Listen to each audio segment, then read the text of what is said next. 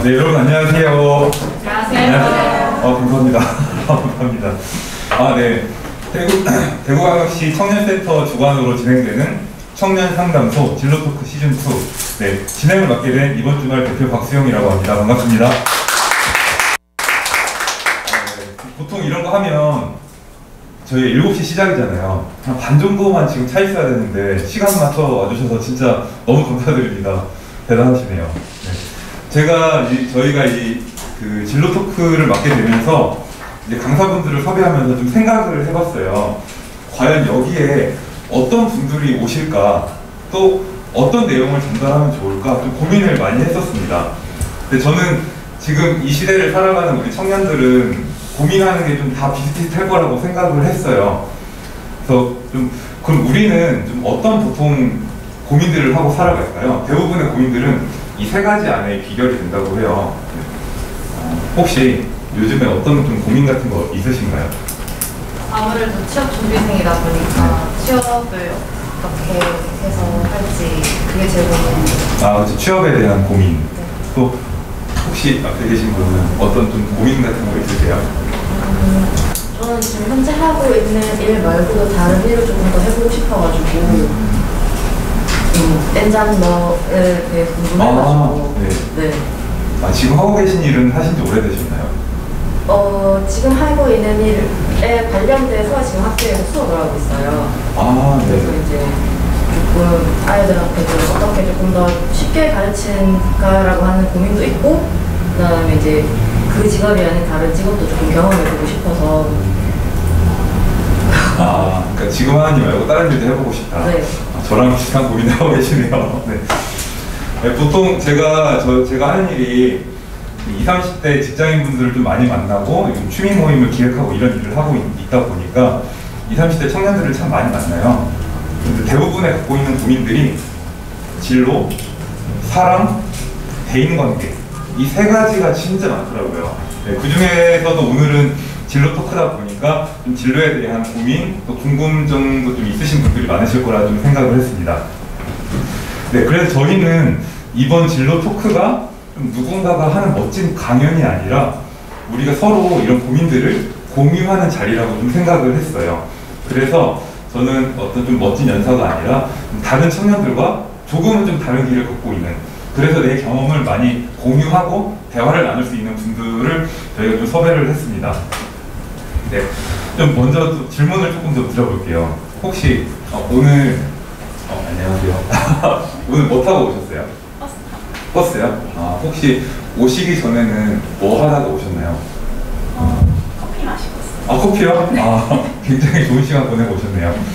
그 여기 이제 오늘 진로 토크 첫 번째 모임이 이제 엔잡러란 말이죠. 엔잡러를 딱 보셨을 때좀 어떤 생각이 들어서 이렇게 신청을 하게 되셨어요? 시간 매율이나 이런 거나 아니면은 뭐 스케줄 관리 이런 것들도 궁금하고 어떤 일들을 엔잡으로 할 수 있을까 궁금해서 신청했어요. 아, 네, 감사합니다. 네. 보통 이렇게 앞에 계신 세 분, 이- 이렇게 좀 질문을 하니까 앞에 잘 안 앉으시는데, 갑작스러운 질문에 네, 답변해 주셔서 감사드립니다. 네, 그래서 오늘은 그 첫 번째 시간으로 그 여행 인플루언서로 활동을 하시고, 또 블로그 강사, 또 개발자로 살아가는 엔잡러를 모셨는데요. 어, 이분은 이제 저희가 하고 있는 그 저희 회사에서 강사로도 활동을 하시는 분이세요. 그래서 저랑 이제 연을 맺은 지 한 4년, 5년 되게 길게 연을 맺고 있는데 정말 대단하더라고요. DJ로도 활동을 하시고 어, 좀 되게 다양한 일들을 했습니다. 그래서 오늘은 이 엔장러 로엘님의 이야기를 들어볼까 해요. 아 그리고 그 전에 저희가 또 시에서 하는 행사다 보니까 저 뒤에 이제 블로그 기자단 분들이 계세요. 그래서 이 토크쇼를 촬영을 하고 계신데 촬영하는 장면들이 이제 또 유튜브 저희로 송출되고 여러분들의 뒷모습과 뭐 짧은 뭐 앞모습 스티커들이 조금 짧게 나올 수도 있으니까 이 점은 좀 양해 부탁드리겠습니다. 네, 그러면 잠시만요. 어, 로엘님 준비되셨나요? 아, 네. 네, 지금 로엘님 준비하고 계시고요. 그래서 저희가 오늘은 이제 1부는 로엘님의 이런 강연을 듣고 10분 정도 쉬는 시간을 가졌다가 2부 때는 토크쇼를 진행하려고 합니다. 토크쇼는 뭔가 이렇게 좀 딱딱하게 뭐 이야기 듣는 것보다도 서로 대화하면서 그런 시간을 좀 가져보면 좋을 것 같아요. 어, 들리시나요? 네. 그러면 저희 1부 엔잠러 로엘님을 큰 박수로 모시겠습니다. 아, 만나서 반갑습니다. 저는 어, 엔잡러 강의를 맡게 된 정지원이라고 합니다. 사실 오랜만에 이렇게 많은 사람들 앞에서 강의면을 해서 조금 떨리긴 한데 제가 좀 버벅거리더라도 조금 이해해 주시고 네, 들어주셨으면 감사하겠습니다. 사실 저는 어, 오늘 여러분들의 예상 질문들을 조금 먼저 받았었어요. 그래서 여러분들 예상 질문의 토대로 이제 강의를 조금 준비를 했고요. 그리고 여기 강의에서 조금 더 이해가 안 되시는 분들은 2부에서 Q&A 얼마든지 자유롭게 질문해 주시면 제가 답변을 해드리도록 하겠습니다. 그래서 들고 갈게요. 일단 저희 강의 목차부터 먼저 소개해드릴게요. 그래서 저를 아직 잘 모르시는 분들도 계실 것 같아서 일단 자기소개 제가 간단하게 하고요. 그 다음에 여러분들이 궁금해하시는 엔잡러. 엔잡러는 도대체 뭐 왜 지금 대세가 되고 있는지 일단 그거랑 그 다음에 엔잡의 시작. 제가 어떻게 해서 엔잡을 시작하게 됐고 그 다음에 아직까지 엔잡을 시작하지 못하신 분들이 계시면 어떻게 엔잡을 찾는지 그 방법들 알려드릴 거고요. 그 다음에 엔잡을 하게 되면, 하게 되면 아무래도 시간을 잘 효율적으로 사용해야겠죠. 그래서 어떻게 시간을 잘 쓰고 목표를 어떻게 세워야 되는지까지 제가 일부 강의에서 알려드리겠습니다. 사진이 좀 다른데. 네 저는 네, 엔잡러 정지원이라고 하고요. 일단은 저는 지금 직장인은 7년차 다니고 있고 개발자로 지금 계속 활동을 하고 있습니다. 방금까지도 제가 출근을 하고 퇴근을 해서 지금 방금 마침 도착을 했고요. 자 그 다음에 저는 네이버 여행 인플루언서로 활동하고 있고 네, 울로엘이랑 많이 구독 눌러주세요 자, 그 다음에 지금 앞서 얘기하셨듯이 저는 블로그 강사로 활동하고 있고 그 다음에 청년들 대상으로 SNS 컨설팅 강사로도 활동하고 있습니다. 그 다음에 이거는 잘 모르실 텐데 네이버 Expert라고 혹시 아시는 분 계세요? 네이버 Expert라는 거는 이제 네이버의 지식인들 다들 아시죠? 자, 지식인, 지식인도 있지만은 이제 전문가 자격증이 있거나 경력이 있으신 분들은 네이버 Expert에도 도전을 하시면 수익이 발생할 수 있거든요. 그래서 저는 아무래도 어, 여행이지만 저는 캠핑을 조금 더 많이 다녀서 그런 캠핑 분야에 조금 전문가, 전문성이 있다고 판단이 돼서 네이버 Expert 스포츠 캠핑 분야 전문가로도 활동하고 있습니다. 그리고 밑에는 다양하게 있는데 뒤로 가면서 저의 이야기를 좀 더 들려드리도록 하겠습니다. 첫 번째 파트는 일단 엔잡러에 대해서 제대로 알고 가셔야지 여러분들도 엔잡러를 하실 수 있겠죠. 그래서 어, 한번 정의를 짓고 넘어가도록 하겠습니다.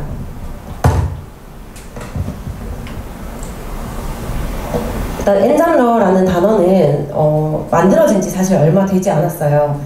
제가 처음에 블로그 시작하고 이제 블로그 강사할 때도 엔잡러라는 단어는 사실 없었어요. 그래서 어떤 분에 의해서 만들어지게 됐는데 정확한 뜻은 두 개 이상의 복수를 뜻하는 n과 직업의 잡, 그 다음에 사람의 er 붙여서 엔잡러라고 하는 거고요. 본업에도 두 개 이상의 일을 하는 사람을 뜻하는데 만약 직장이 없으셔도 아르바이트를 두 개를 하시는 분들도 다 엔잡러에 포함이 됩니다. 그래서 엔잡러가 그렇게 머리 아픈 건 아니에요. 간단하게 생각하시면 되고요. 그 다음에 지금 왜 엔잡러가 대세일까에 대해서 이제 워낙 대세다 보니까 많은 리서치에서 연구를 많이 했어요. 그래서 제가 이 이미지를 포함했는데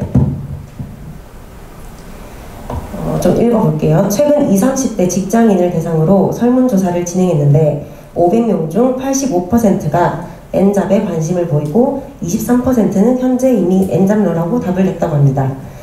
이렇게 얘기하는데 제가 그 뒤, 뒤에 이유를 조금 분석을 해봤어요. 자, 여러분들도 잘 알다시피 요즘 인플루언서들 대단하죠. 저희도 무조건 도전할 수 있을 것 같은 틱톡이나 유튜브, 인스타, 그다음에 블로그 등 장벽이 좀 낮고 쉽게 도전 가능한 소셜 네트워크 플랫폼들이 많이 생겨나고 있습니다. 그래서 요새는 틱톡처럼 쇼폼이 조금 더 대세인 것 같아요. 그런 것도 수익이 얻을 수 있으니 N잡러에 포함이 되겠죠. 자, 그 다음에 하고 싶은 것이 많고 성과 위주의 이익을 원하는 MZ 세대. 어, 예전에는 사실 직장을 다니면 어, 직장 끝나고 난 뒤 one-day class나 뭐 체험 이런 거를 했다 해야겠다라는 생각이 잘 안 들었는데 요즘 MZ 세대들은 체험이나 one-day class 굳이 베이킹을 하지 않아도 베이킹 수업을 들으러 가고 이렇게 하고 싶은 것들을 체험하는 것들이 많아졌어요. 그리고 회사에서도 요새는 성과제라고 하죠. 네, 성과 위주의 노력에 비례하는 이익을 원하기 때문에 내가 조금만 더 시간을 쓰게 되면 네, 내가 수익이 더 좋아지니까 N잡을 해야겠다라고 생각이 드는 사람들이 많다고 합니다. 그 다음에 세 번째는 출근 전 퇴근 후 시간 워라밸이 보장되는 MZ 세대. 저희 회사 같은 경우에도 제가 지금 강의를 하러 올 수 있었던 이유가 워라밸을 시행하고 있기 때문에 6시 칼퇴하고 올 수 있었던 거예요. 자, 이런 식으로 워라밸을 실천하는 기업들이 굉장히 많아졌습니다. 그래서 여러분들도 지금 하고 계실지 모르겠지만 그 직장인 분들도 매일 아침에 직장 출근 전에 미리 일어나서 miracle morning 혹시 아세요? 네, 달리기를 한다든지 아니면 책을 읽는다든지 자기만의 시간을 가진다든지 그런 시간 활용을 할 수 있는 시간이 보장되고 있습니다. 자, 그 다음에 네 번째는 가장 중요합니다. 시간과 장소에 구제, 구애받지 않는 직업의 다양화라고 되어 있는데 사실상 저희 뭐 인스타그램이나 블로그나 전부 다 버스 안에서든 카페에서든 언제 어디서든 할 수 있게 되어 있고 저 같은 경우에도 이 태블릿이나 핸드폰 가지고 거의 다 일을 하고 있어요. 그래서 시간과 장소 구애받지 않기 때문에 아무래도 사람들이 더 많은 직업을 가져도 되겠다라는 생각을 하는 건 아닐까라고 생각해 봤습니다. 자, 여기까지는 엔잠러에 대해서 간단하게 설명을 해드렸고요. 많은 분들이 예상 질문에 저의 이야기를 엄청 궁금해 하시더라고요. 그래서 제가 짧게 짧게 제가 어떻게 엔잠러를 시작하게 됐는지 한번 들려드리려고 준비를 해봤습니다. 그래서 저는 사실 그 엔잠러를 꼭 해야겠다라고 시작한 루트는 아니에요. 그래서 저는 취미가 엔잡이 된 경우고요. 음, 이 이야기를 하려면 어, 좀 지루하실 수도 있지만 저희 대학 시절로 돌아가서 한번 이야기를 해드리겠습니다. 자, 처음에 제가 시작했던 거는 블로그예요. 직장을 가지기 전에 어, 대학생 때 블로그를 한 이유는 제가 연구실에 있었는데 제 옆에 친구가 저는 아르바이트를 새벽 3시까지 하고 공부도 하고 너무 힘들어 죽겠는데 옆에 친구는 아르바이트도 안 하는데 소고기를 먹으러 다니는 거예요. 그래서 너는 돈도 안 버는데 왜 집이 그렇게 잘 사냐 얘기를 했더니 자기가 사실은 블로그를 한다라고 얘기를 해주더라고요. 그래서 그때까지만 해도 저는 대학생 남, 남학생이 블로그를 한다라는 걸 조금 이상하게 생각했던 것 같아요. 근데 그때 당시에 친구가 그렇게 잘하길래 그러면 나도 좀 알려줘. 나도 아르바이트 이제 그만하고 싶어. 라고 얘기해서 블로그를 시작했고요. 그렇게 저는 블로그를 꾸준하게 하게 되었습니다. 그러다 보니까 대학 시절 때 이제 당연하게 협찬도 받게 되고 미용실이나 뭐 이런 것들 어 제가 돈 들이지 않아도 글만 써도 이제 수익이 발생하는 경우가 생겼죠. 자, 그 다음에 제가 이제 직장에 취업하게 됩니다. 어, 직장에 취업했을 때는 저희 전공을 살려서 개발자로 갔는데 사실상 개발자를 했다고 해서 저는 블로그를 놓치지는 놓치 어, 놓치지는 않았어요. 왜냐하면 개발자라는 직업이 워낙 앉아서 오랜 시간 동안 일을 해야 되다 보니까 사실 저는 그게 너무 스트레스였어요. 그래서 아, 돈은 적은데 내가 좀 하고 싶은 것들은 또 잘하고 싶고 하니까 블로그를 손에서 못 놓겠는 거예요. 그래서 블로그도 꾸준히 하면서 직장도 이렇게 다니면서 하게 되었는데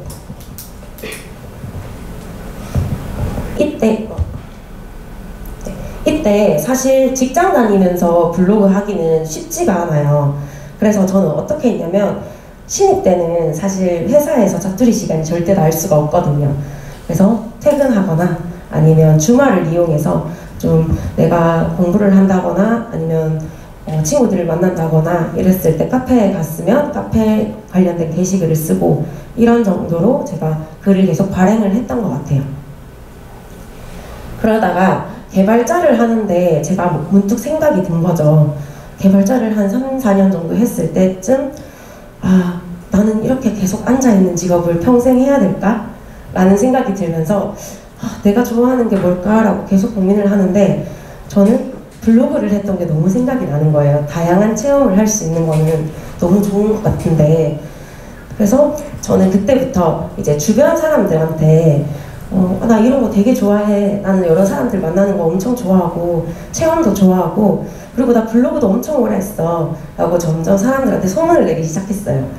그때 당시에 이제 직장인 모임, 이제 박수영 대표님이 하고 계시는 직장인 모임을 들어가게 됐는데, 그때 당시에도 모임 사람들한테 저 블로그 해요.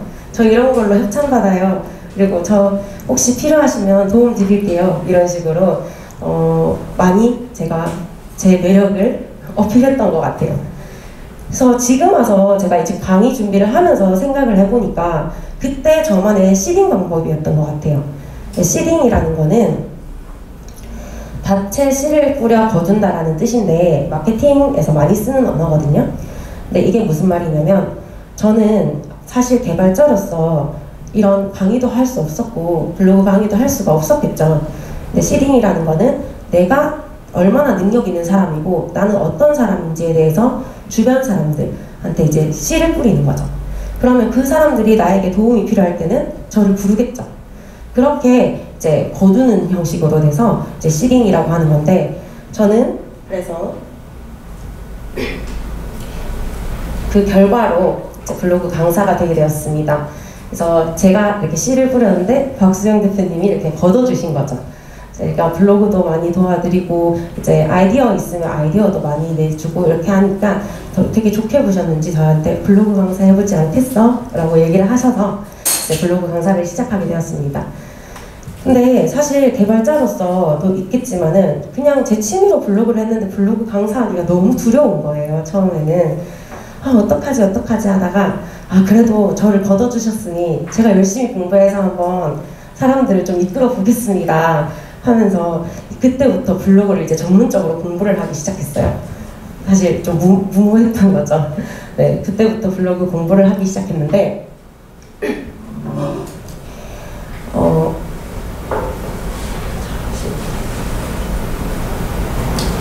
사실 지금 아까 전에 시딩이라는 과정도 있었지만은 여러분들한테 나중에도 얘기 드리겠지만 그 과정에서 저는 키맨이라는 사람을 만난 거죠. 박수영 대표님이 사실은 저에게 시딩, 제가 시딩을 했고 그걸 걷어준 사람이기도 하지만은 저의 키맨이 될 수도 있거든요. 키맨은 뭐냐면 기업과 같은 조직에서 문제 해결 과정이나 의사 결정을 할 때 핵심 역할을 할 수 있는 수준의 힘을 가진 사람. 즉, 산업에 영향력을 줄 수 있는 사람이죠. 저는 어쨌든 강사가 하고 싶고, 사람들을 만나고 싶고, 그 다음에 사람들한테 도움을 주고 싶은데, 제 혼자 힘으로는 절대 될 수가 없겠죠. 그래서 박수영 대표님이 어, 별로고 강사 해보지 않을래? 했을 때 저는 아, 이 사람이 내 키맨이구나 라는 생각이 들었던 거죠. 그래서 키맨 덕분에 이제 블로그 공부도 열심히 하게 되고 제 이제 블로그 공부도 열심히 하면서 블로그 강사를 하니까 어, 사실 저희 수강생분들이 저한테 정말 뜬금없는 질문들을 너무 많이 하세요. 근데 거기에 답을 하지 못하면 왠지 제가 능력이 없어 보이는 것 같은 거예요. 그러다 보니까 모든 질문에 답하려고 하다 보니 제가 되게 많은 분야에서 공부를 하고 있더라고요. 그래서 그 결과로 이제 인플루언서가 되게 되었습니다. 블로그도 공부했지만은 아 저 사람은 어떻게 컨텐츠를 올릴까 아 저 사람은 어떻게 글을 쓸까 이런 것들을 공부를 하다 보니까 아 이렇게 해서는 인플루언서가 될 수 있겠다 해서 인플루언서에 도전을 했고 지금은 여행 인플루언서가 된 거죠. 그래서 현재는 어, 다양한 활동들을 하고 있는데요. 어, 지금 인스타그램도 운영하고 있는데 인스타그램은 이제 제가 하는 활동들마다 계정을 따로 다 열어서 이제 활동을 하고 있고 캠핑이나 여행 인스타그램 따로 운영하면서 서포터즈나 기자단도 하고 있고 그다음 블로그 같은 경우에는 관광공사에서 또 이제 또 블로그 활동을 하고 있고요. 그 다음에 좋은 강의가 계속 이런 네, 강의를 계속 하다 보니까 이제 좋게 봐주셔서 이제 대학교에서도 부르기도 하시고 청년센터 이런 데서도 불러주시기도 하시고 그 다음에 아까 전에 말씀드렸던 제가 글을 올린 것들이 많아지니까 전문성이 있다라고 생각해서 네이버에서 지식인, 전문가 지식인으로도 활동하고 있습니다. 그래서 여기까지는 제가 어떻게 엔잡러를 시작했는지에 대해서 말씀드렸는데 사실 저는 이 과정들을 보면 아 내가 엔잡을 해야지 라고 해서 엔잡을 시작한 과정은 없었던 것 같아요 그냥 기회가 오면 감사합니다 하고 받아서 열심히 했던 것 같아요 그러다가 어쩌다 보니까 일을 불렸고 그래서 엔잡러가 되게 된 건데 지금은 제가 조금 다른 마음으로 엔잡러를 대하고 있긴 하거든요 그거는 다음번에 가서 그 다음 장에 가서 얘기 드릴 거고 이 전에 이제 지금 아직 취업을 안 하신 분들도 계실 거고 그 다음에 지금 취업을 하셨는데 엔잡을 준비하시는 분들도 계실 거고 근데 아 나는 막상 무슨 일로 돈을 벌 수 있지? 라고 고민하시는 분들을 위해서 제가 이제 지금 쓰는 방법을 알려드리려고 해요 네.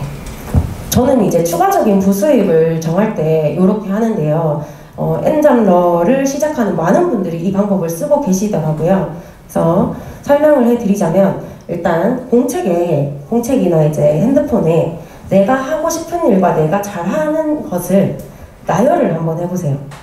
저는 일단은 내가 하고 싶은 거는 난 자유롭게 여행을 다니고 싶어. 그다음에 나는 아, 좀 질린 일은 안 하고 싶은데 새로운 일 좀 하고 싶은데 그다음에 내가 하면 좀 사람들이 좋아했으면 좋겠어. 눈에 들어가는 결과가 있었으면 좋겠어. 그 다음에 휴가. 저는 정말 아직까지도 못하지만 재택근무를 너무 하고 싶습니다. 네, 휴가를 자유롭게 쓸 수 있는 일과 그 다음에 정보를 공유할 수 있는 일. 제가 사람들한테 뭐 알려주는 거 되게 좋아하거든요. TMI라서. 그래서 아 이런 거 내가 정말 하고 싶었는데 하면서 이제 내가 잘하는 것을 이렇게 쭉 또 나열했죠. 첫 번째 음주 가무 들어가죠. 네, 술을 워낙 좋아해서 음주 가무를 어, 잘 하는데 이건 어디 도움이 안 될까 적어봤고요. 그 다음에 저는 낯이 안 가립니다. 그래서 처음 보는 사람들하고 이야기를 엄청 잘하는데 그 다음에 뭐 똑같은 말로 적응력이 좋다. 그 다음에 블로그를 오래 하다 보니까 문서를 굉장히 빨리 써요. 블로그가 지금은 어, 블로그 한 글을 쓸 때 한 10분에서 15분 정도면 저는 발행하는 편이거든요. 그래서 아, 빠른 시간 안에 저는 문서를 되게 빨리 쓸 수 있는 능력이 있는 것 같다. 하고 그다음에 저는 어떤 키워드들을 들었을 때 어? 그러면 그건 어때? 이렇게 옛날부터 저는 아이디어가 조금 남들과 다르게 좀 많았던 것 같아요. 그래서 아이디어를 잘 생각한다. 문서 검색 능력이 좋다, 체력이 좋다, 뭐 이런 식으로 쭉 나열을 해봤어요. 정말 100개까지도 나열하시는 분들도 있고 본인을 사실 잘 모르신 다음에 10개도 안 되시는 분들도 정말 많으실 거예요. 근데 이거를 어떻게 하냐면 자, 첫 번째는 공통적인 것을 찾거나 연관성을 찾으셔야 됩니다. 그래서 일단은 이 공통적인 것과 연관성을 찾기 전에 본인이 만약에 메인 직업이 있다면 그 메인 직업을 메인 직업을 하는 시간을 제외한 예, 할 수 있는 일을 구상하는 것들 연관성을 찾으셔야 됩니다. 만약에 내가 지금 main job에 9 to 6 무조건 회사에 출근해야 되는데 휴가 어 만약에 여기에 출근 안 하는 일 이렇게 적어놓으면 사실 저에게는 연관성이 없는 일이죠. 그래서 이런 것들은 빼고 이제 연관성을 찾으셔야 됩니다.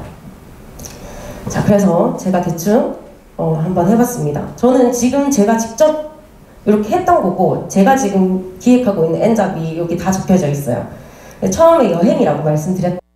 근데 처음 보는 사람들하고 이야기를 되게 잘하니까 아, 네, 내가 한 여행 가이드를 해볼까? 주말에 혹시 나는 시간이 비는데 아무래도 관광버스 움직이니까 내가 새벽에 일어나서 여행 가이드를 해볼까? 이 생각도 했고요. 그 다음에 질리지 않고 할 수 있는 일과 아이디어가 잘 생각난다. 이렇게 하니까 어 새로운 물건을 좀 팔면 나도 재밌을 것 같은데 그래서 스마트 스토어나 공구 이런 것도 한번 생각해봤고요. 그다음에 쇼폼 제작 그래서 저는 지금 이제 릴스도 네, 춤도 추고 하거든요. 그리고 어, 휴가를 뭐 자유롭게 쓸 수 있는 일 아이디어가 잘 생각난다 해서 뭐 PPT 저는 이렇게 강의도 하니까 PPT 제작 대행도 할 수도 있겠죠. 자, 그 다음에 새로운 사람 만나는 일과 어, 음주 가무가 있으니까 파티 플래너도 한번 해볼 수 있을 것 같은데 제가 또 파티를 좀 많이 다녔거든요. 네, 그래서 왠지 잘할 수 있을 것 같은데 라는 생각도 했고요.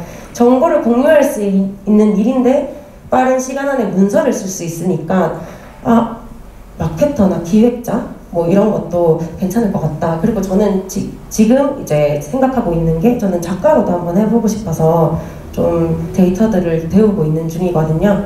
그래서 이런 것들로 본인만이 이제 시간이 자유로운 직업들을 찾아 나가는 거죠. 그다음에 두 번째는 자신만의 자신만의 잘할 수 있는 채널을 찾으셔야 됩니다. 그래서 잘하는 것에 대해서 주위 사람들에게 주위 사람들에게 시딩하고 나의 키맨을 찾아라. 사실 이 부분은 어, 조금 많은 노력이 필요한 것 같아요. 저도 단시간에 이루어지진 않았고 계속 사람들을 만나면서 나 이런 거 잘해요 이렇게 하다 보니까 시딩도 되고 키맨도 찾았던 건데 어, 이거는 여러분들이 활동하시면서 엔잡을 찾, 찾으려고 노력하시면 무조건 운명적으로 다가옵니다. 그래서 지금 이번에 나타나 있는 잘할 수 있는 채널을 찾자는 만약에 내가 어, 작가를 하고 싶다. 그러면 나는 지금 당장에는 전문적인 작가는 될 수 없으니 아 어렸을 때 나는 진짜 일기를 너무 재밌게 썼었는데 선생님한테 정말 칭찬을 들었었는데 이러시면 이제 전작책이나 품문 같은 데다가 작은 한 10페이지 정도 되는 책을 발행하는 거죠. 나의 어릴 적 웃긴 일기 뭐 이런 식으로 발행해서 이제 사람들이 누구나 사서 연락하게끔 판매를 해도 되고요. 나는 영상 편집을 참 잘하는데 라고 생각하면 유튜브 같은 거에 내가 영상 편집한 것들을 뿌려놨다가 이제 그 채널에서 이제 수익을 또 받을 수도 있겠죠. 저 영상 편집 잘합니다. 문의 주세요. 이렇게. 그래서 본인만이 어, 본인 특기에 맞게, 본인 아까 연관성에 맞게 부담 없는 채널을 찾으셔야 됩니다. 다만 엔잡러를 하는데 계속해서 월화수목금토일 이렇게 출근하는 채널은 사실 좋지는 않은 것 같아요. 그래서 온라인 쪽으로 많이 찾아보시면 훨씬 더 많은 부가 수입이 올 수가 있습니다. 자, 이렇게 엔잡러에 대해서 만약에 내가 직업이 잡혔다. 그러면 이제 우리가 관리를 해야겠죠. 나 자신도 체력이 참 좋아야 될 거고, 그 다음에 그 엔잡러를 하면서 저한테 이제 들으러 오시는 분들, 저는, 저는 개인적으로 블로그를 강의를 들으러 오시는 분들이 제가 체력이 너무 안 좋아서 그 사람들이 피해가 되면 안 되잖아요. 그래서 일단 첫 번째는 에너지 관리 방법. 이건 좀 의아하실 건데, 음, 에너지 관리 방법이랑 그다음 두 번째 시간 관리 방법이랑 세 번째 목표 세우기 이렇게 세 가지를 알려드릴게요. 음. 자, 우리 입에 달고 사는 말 옛날에 엄마가 공부 좀 해라 하면 아, 시간이 없다 이렇게 많이 했죠. 엄마가 네 왜 안 하는데 하면 어, 공부하느라 시간이 없다 뭐 이렇게 하기도 하고요. 근데 사실은 지금 이제 다 큰 성인이니까 다 큰 성인이 맨날 잠만 자요. 그러면 사실 에너지가 없다는 거거든요. 근데 이 말은 즉슨 뭐냐면 제가 제 친구를 정말 그, 어, MBTI 혹시 좋아하세요? MBTI? 네, 제가 정말 친한 친구가 ISTJ예요. 저는 ENFP입니다. 적응 반대의 성격이죠. 근데 제 친구는 매일 퇴근을 하면 잠만 자요. 그리고 출근 시간 1시간 전에 일어나서 회사 갈온 매무새를 닫아듬고 정말 깔끔하게 회사를 출근해요. 그리고 집에 들어와서 또 다시 잠만 자요. 그래서 야 너는 인생을 참 재미없게 산다. 어떻게 회사만 다닐 수 있냐. 한 가지 회사에 이렇게 재미가 드냐 하니까 너는 어떻게 그렇게 엔잡을 하니? 나는 평생 태어나서 엔잡을 생각해 본 적도 없다. 이렇게 얘기를 하는 거예요. 그래서 저는 ISTJ랑 ENFP랑 이렇게 특징을 쭉 뽑아봤어요. 거기서 이제 제가 해답을 얻은 거죠. 자, ISTJ, 제 친구 같은 성격은 일단은 내가 그 분야의 전문가가 되고 싶어요. 그러면 제 친구한테 물어봤죠. 너는 이 분야에 대해서 여러 가지 수입을 얻어 전문가가 되고 싶냐? 아니면 너가 회사의 한 일원으로서 전문가가 되고 싶냐? 하니까 제 친구가 난 이 회사에 뼈를 묻을 거고 이 회사의 모든 기술을 배워서 임원까지 가는 난 전문가가 되고 싶다라고 얘기를 하는 거예요. 자, 이런 친구들 엔잡러 될수 있을까요? 회사에 가면 내 모든 에너지를 쏟아서 잘 보이려고 노력해야 되고 기술도 배워야 되고 정말 에너지를 거기 100%다 쓰고 옵니다. 그러니까 집에 오면 다른 일을 할 시간이 없는 거죠. 에너지가 없는 거죠. 저 같은 경우에는 그렇게 회사에 크나큰 정이 많진 않아요. 네. 저는 항상 회사에서 한 5시 정도 되면, 아, 오늘 다른 엔잡은 뭐 할까? 이렇게 막 되게 신나하거든요. 오늘도 어떤 사람 올까 되게 신나하는데, 저는 이렇게 엔잡러의 에너지 분배가 되어 있는 거죠. 그래서 혹시나 나는 어떤 회사에 들어가서 목표를 가지고 열심히 일해야지 하시는 분들은 엔잡러 다른 분한테 추천해 주시면 됩니다. 네, 저처럼 사람 만나고 다양한 일 하고 이렇게 좋아하시는 분들 그런 분들이 엔잡러에 맞다고 보시면 됩니다. 자, 그래서 일단은 나의 에너지는 얼마가 되는가를 잘 생각하셔야 돼요. 자, 저 같은 경우에는 사실 이거를 안 지 사실 얼마 안 됐어요. 왜냐면 저도 MBTI, MBTI 완전 푹 빠져서 공부를 하다 보니까 이제 알게 됐는데 첫 번째, 나는 언제 에너지를 많이 소비하는가에 대해서 아셔야 돼요. 에너지를 많이 소비하는 일은 사실 자기에게 맞지 않는 일이거든요. 그래서 저는 저보다 텐션이 높은 사람을 만나면 에너지가 훅 떨어져요. 왜냐면 저도 텐션이 엄청 높거든요. 그래서 그런 것들, 사소한 것들도 이렇게 쭉 나열 한번 해보세요. 일단 두 번째는 나는 언제 누구를 만날 때 에너지를 얻는가. 저는 저보다 더 크나큰 엔잡을 하거나 아니면 더 많은 사람들을 만나는 사람들이나 저보다 더 아이디어가 있는 사람들을 만나면 눈이 광기를 일으켜요. 너무 재밌어. 집에 가기 싫어. 에너지를 얻는 거죠. 자, 그 다음에 나는 어떤 시간에 에너지가 활발한가? 이거는 사람마다 다 다를 것 같아요. 어떤 사람들은 miracle morning하고 어떤 사람들은 miracle night 한다 하죠. 저는 밤 시간에 엄청 활발해요. 대신 아침에는 에너지가 없어요.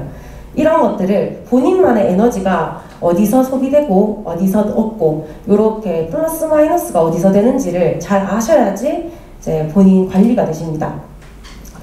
두 번째, 불필요한 시간에 에너지 소비를 줄여라. 아까 전에 앞에서 얘기했던 에너지를 많이 소비하는 거에 대해서 심한데 이제 나는 어떤 시간에 에너지가 소비가 되고 나는 어떤 행동을 할 때 에너지가 소비가 되고 나는 어떤 사람들과 함께 했을 때 에너지가 소비가 되는지 이런 것들을 잘 생각하시면 내가 쓸모없는 시간을 잘 아낄 수 있어요. 어, 저는 개인적으로 저희 엄마의 잔소리를 들을 때 에너지가 굉장히 소비가 돼서 최대한 잔소리를 안 들으려고 피해 다닙니다. 네. 불필요한 시간에 에너지 소비를 줄이기 위해서 그런 사소한 것들도 이제 관리를 하는 거죠. 그 다음에 나는 어떤 사람들과 함께 했을 때 에너지 소비가 되는가? 아, 저는 이렇게 센 척이 엄청 심하신 분들, 자기 PR이 엄청 주장이 엄청 심하신 분들, 이렇게 대화를 하면 아닌데 안 그런데 이렇게 하시는 분들, 저는 기가 쫙 빨려요. 그래서 웬만하면 그런 분들 피해 다닙니다. 네, 이런 것들, 사소한 것들 한번 정리를 한번 해보세요. 그래서 이렇게 플러스 마이너스를 하다 보면 본인만의 자투리 시간이 나옵니다. 지금은 아무래도 어 그냥 아 사람 만나면 다 도움 되겠지 나는 어떤 일을 하면 다 도움 되겠지 이렇게 생각하시는데 불필요한 것들을 제거하고 나면 나의 에너지를 쓸 자투리 시간들이 남아요. 그러면 그 자투리 시간을 잘 이용하는 거죠. 그리고 한 가지 더는 본인이 온전히 본인한테 쉼 시간을 꼭 주셔야 돼요. 이거는 제가 엔잡러 강의를 이제 준비를 하면서 다른 엔잡을 하시는 분들 강의도 쭉 봤는데 다들 정말 꼭 주의하라는 게 본인만의 쉬는 시간이 없으면 금방 지친다. 그러면 메인 잡에도 영향이 간다. 그러니까 본인만의 쉬는 시간은 꼭 만들어라. 이렇게 얘기를 하더라고요. 그래서 저는 이제 루틴이 생겼어요. 자, 저의 시간표입니다. 그래서 제가 직접 그렸어요. 어제. 그래서 평일 시간표랑 주간, 주말 시간표 이렇게 나눴는데 어떤 분들은 어, 12시, 6시, 12시 이런 식으로 나누시는 분들도 있고 본인이 편하신 시간대로 하시면 될 것 같아요.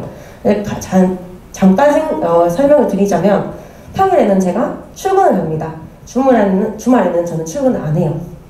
그렇다 보니까 저는 이제 시간표를 나눠놨고 그러니까 평일 시간표에는 저는 웬만하면 자투리 시간, 평일에 자투리 시간은 무조건 활용하려고 해요.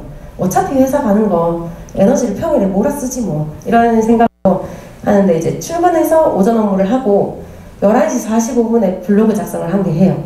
아니면 블로그 강의생들이 문의 들어오는 걸 답변을 다 해줘요. 왜 11시 45분이냐?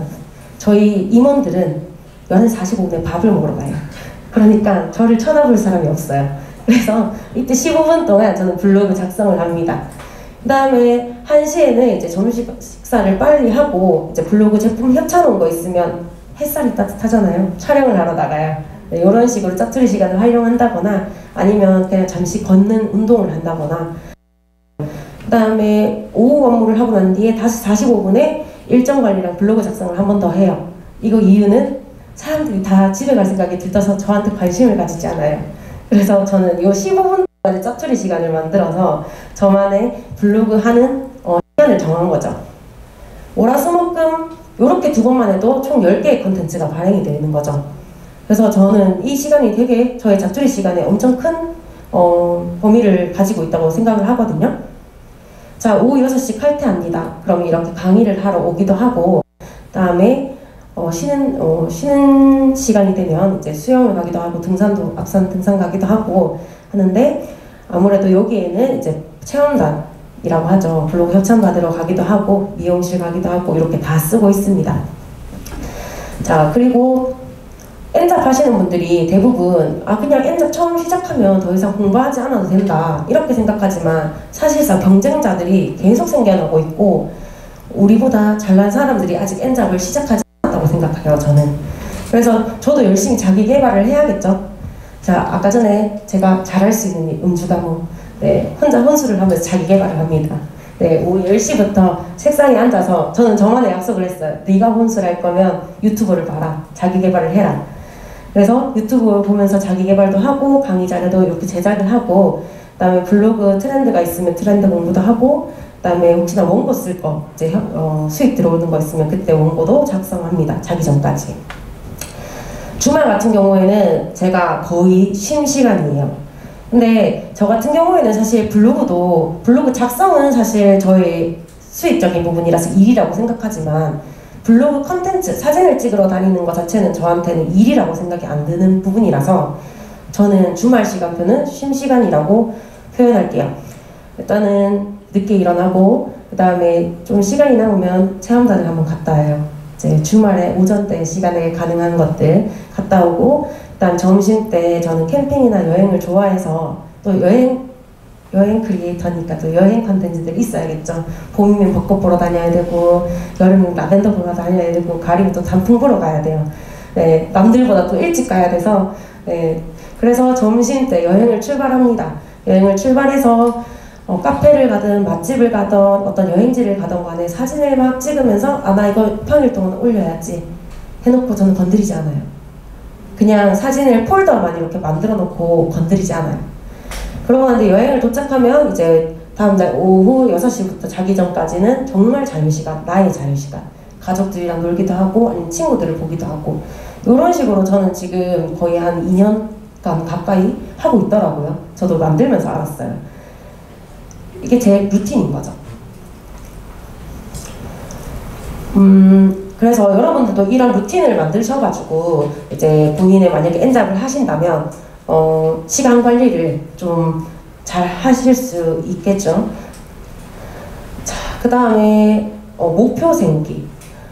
저 아까 전에 얘기했듯이 엔잡을 계속 계속 하다 보면 어, 나는 어, 그냥 유지만 잘 되면 되지. 나는 원래 어, 엔잡 하면서 한 달에 한 50만 원 들어왔으니까 음, 용돈이라고 생각하면 되지 라고 생각하시는 게 아니라 엔잡으로서 내가 어떻게 더 발전해 나갈 것인지에 대해서 목표를 꼭, 꼭 세우셔야 됩니다.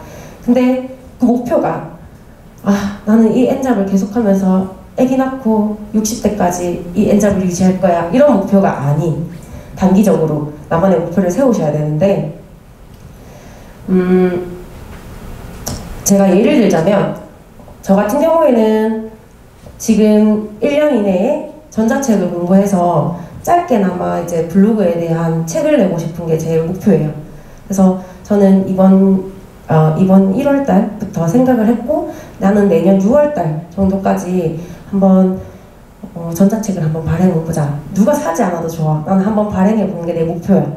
그래서 나는 누구한테 어, 나 전자책 발행했어 라는 이야기를 할 수 있도록 그 기초 자료를 만드는 게 내 목표고 그 다음에 두 번째는 저는 지금 개발자라는 일을 하고 있지만은 이렇게 N잡료가 제 개발자의 직업의 수익을 넘었을 때 무조건 저는 main job을 그만두려고 해요. 네. 근데 그 그만둘 때가 사실 수익이 넘어서도 있지만은 제가 개발자로서의 제가 너무 열심히 했고 너 진짜 후회 없이 잘했어 라고 생각될 때는 진짜 그 main job을 그만두고 나는 N잡을 제가 main job으로 할 거라는 목표를 가지고 있거든요. 근데 그게 저는 한 3년 정도라고 보고 있어요. 이제 지금부터 3년 정도 보고 있고요. 그 다음에 어, 뭐 다양한 목표들이 있겠죠. 저는 되게 목표를 많이 가지고 있거든요. 6개월 단위, 3개월 단위 뭐 이렇게 많이 가지고 있어요. 그래서 그 중에 하나는 이루어졌던 거 예를 들어 볼게요. 제가 여행 컨텐츠들을 계속 발행하고 있었고 여행 인플루언서가 됐는데 인스타에 보니까 막 스위스를 다니고 그다음에 터키를 다니고 지금 요새 많이 올라오죠 사람들 뭐 어디 관광공사에서 협찬을 받아 그러니까 너무 부러운 거예요. 아 나는 한국에서도 관광공사에서 불러주지도 않는데 쟤들은 외국에서 불러주네 이 생각을 해서 제가 작년에 작년에 이제 여행 컨텐츠를 발행하면서 남들보다 조금 더 빨리 한국의 여행지에 대해서 조금 소개를 했었어요. 나도 한국에서 불러다오 제발. 그러다 보니까 어쩌다 보니 제가 관광공사에서 이제 협찬이 들어와서 제가 여행을 다니고 있더라고요. 네, 목표를 1년 잡았는데 전 6개월 만에 그렇게 성사가 됐어요. 그래서 여러분들한테 목표를 세우라는 이유는 정확한 목표가 없으면 사실 이 일이 너무 지루해져요. 체력 소모를 하는 것 같고 시간을 그냥 버리는 것 같고 수익도 계속 오르지도 않고 왜냐면 성과니까 내 노력에 의한 성과니까 그래서 목표를 세우셔야 되고 어, 이 목표를 세우실 때 또 중요하지만은 첫 번째는 준비하셔야 될 것들 일단 포트폴리오를 업데이트를 자주자주 해주세요 어, 그냥 메모장에 적으셔도 되고요 이력서처럼 적으셔도 되고요 아니면 PPT를 만드셔도 되고요 언제 어디서든 누가 나를 불러줄지 모르니 나는 내가 해왔던 것들을 항상 정리를 하셔야 돼요. 이거는 직장 취업과 같죠? 네, 스펙 쌓듯이 저의 포트폴리오를 쭉쭉쭉 하는데 사진이 있으면 훨씬 더 좋습니다. 그래서 내가 사람들을 만나고 이런 성과를 냈어 할 때는 사진으로 꼭 남겨두시면 증거처럼 이제 되겠죠. 이 포트폴리오를 업데이트하는 거는 사실 직장이랑도 비슷하죠 라고 얘기했던 게 사실 여러분 N잡도 1인 branding이라고 저는 생각해요. 지금 1인 브랜딩 시대고. 언제 내가 main job을 그만두고 내가 N잡으로 선택했던 직업으로 갈지 모르니 이 포트폴리오를 항상 업데이트하고 그 다음에 관리를 해주시는 게 가장 중요합니다. 그 다음 두 번째는 일정 관리인데요. 아까 전에 얘기했던 그 시간, 목표, 에너지 이것도 어쨌든 관리이긴 하지만은 저 같은 경우에는 지금 블로그 강의도 하고 있고 그다음에 회사에서도 일을 하고 있고 그다음에 관광 소프트주 쪽도 일하고 있고 굉장히 많은 곳에서 하루에 몇십 개씩 메일이 와요. 사실 몇십 개의 메일을 관리하기가 스팸도 있고 이러다 보니까 놓치는 경우도 많고 그렇거든요. 그래서 네이버는 총 3개까지의 메일을 만들 수 있어요. 구글 또한 아마 그럴 거예요. 3개까지. 그래서 만약에 다수의 엔잡을 하실 거면 그 직업에 맞는 메일을 하나씩 다 생성을 하세요. 그래서 내가 짜투리 시간에 월요일 날은 여기 만약에 내가 블로그 강의 메일을 확인하겠다. 화요일 날은 내가 네이버 강의 확인, 확인을 하겠다. 뭐 이런 식으로 메일을 다 세분화 하셔가지고 관리하는 게 중요하고요.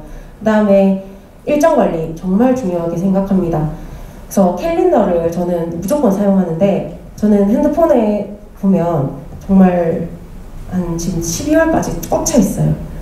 근데 제가 그거를 다 일일이 다 찾아볼 수가 없으니 저는 그 시간 3시간 전에는 무조건 알람이 울리게 다 해놨어요. 그런 식으로 본인만의 일정 관리도 있어야 되고 메모장 이용하는 거 진짜 좋습니다. 어, 그냥 이렇게 지나가다가 아, 내가 나중에 한번 불러줄게 라고 이야기하는 사람들 뜬금없이 또 부르거든요. 그러니까 메모장에 아 누가 날 이렇게 부르기로 했는데 그거 준비해놔야겠어 이런 식으로 메모장에다가 조금 조금씩 조금씩 적어두시면 어이 사람 나 부르기로 했는데 왜 안 부르지? 또 연락도 하고 어 저 그때 불러주시기로 하는데 혹시 자리 안 나나요? 이렇게 얘기할 수도 있고 하니까 이런 관리들을 철저하게 좀 하시면 더 엔자너로서 어, 좋을 것 같습니다. 그래서 1부 강연은 여기까지 하고요. 네, 조금 이따가 Q&A 시간 가지겠습니다. 안녕하세요. 네. 네, 그럼 시작해볼까요? 아, 네. 저희 이제 2부 로엘님 모시고 같이 한번 이야기해보는 시간 가져보도록 하겠습니다.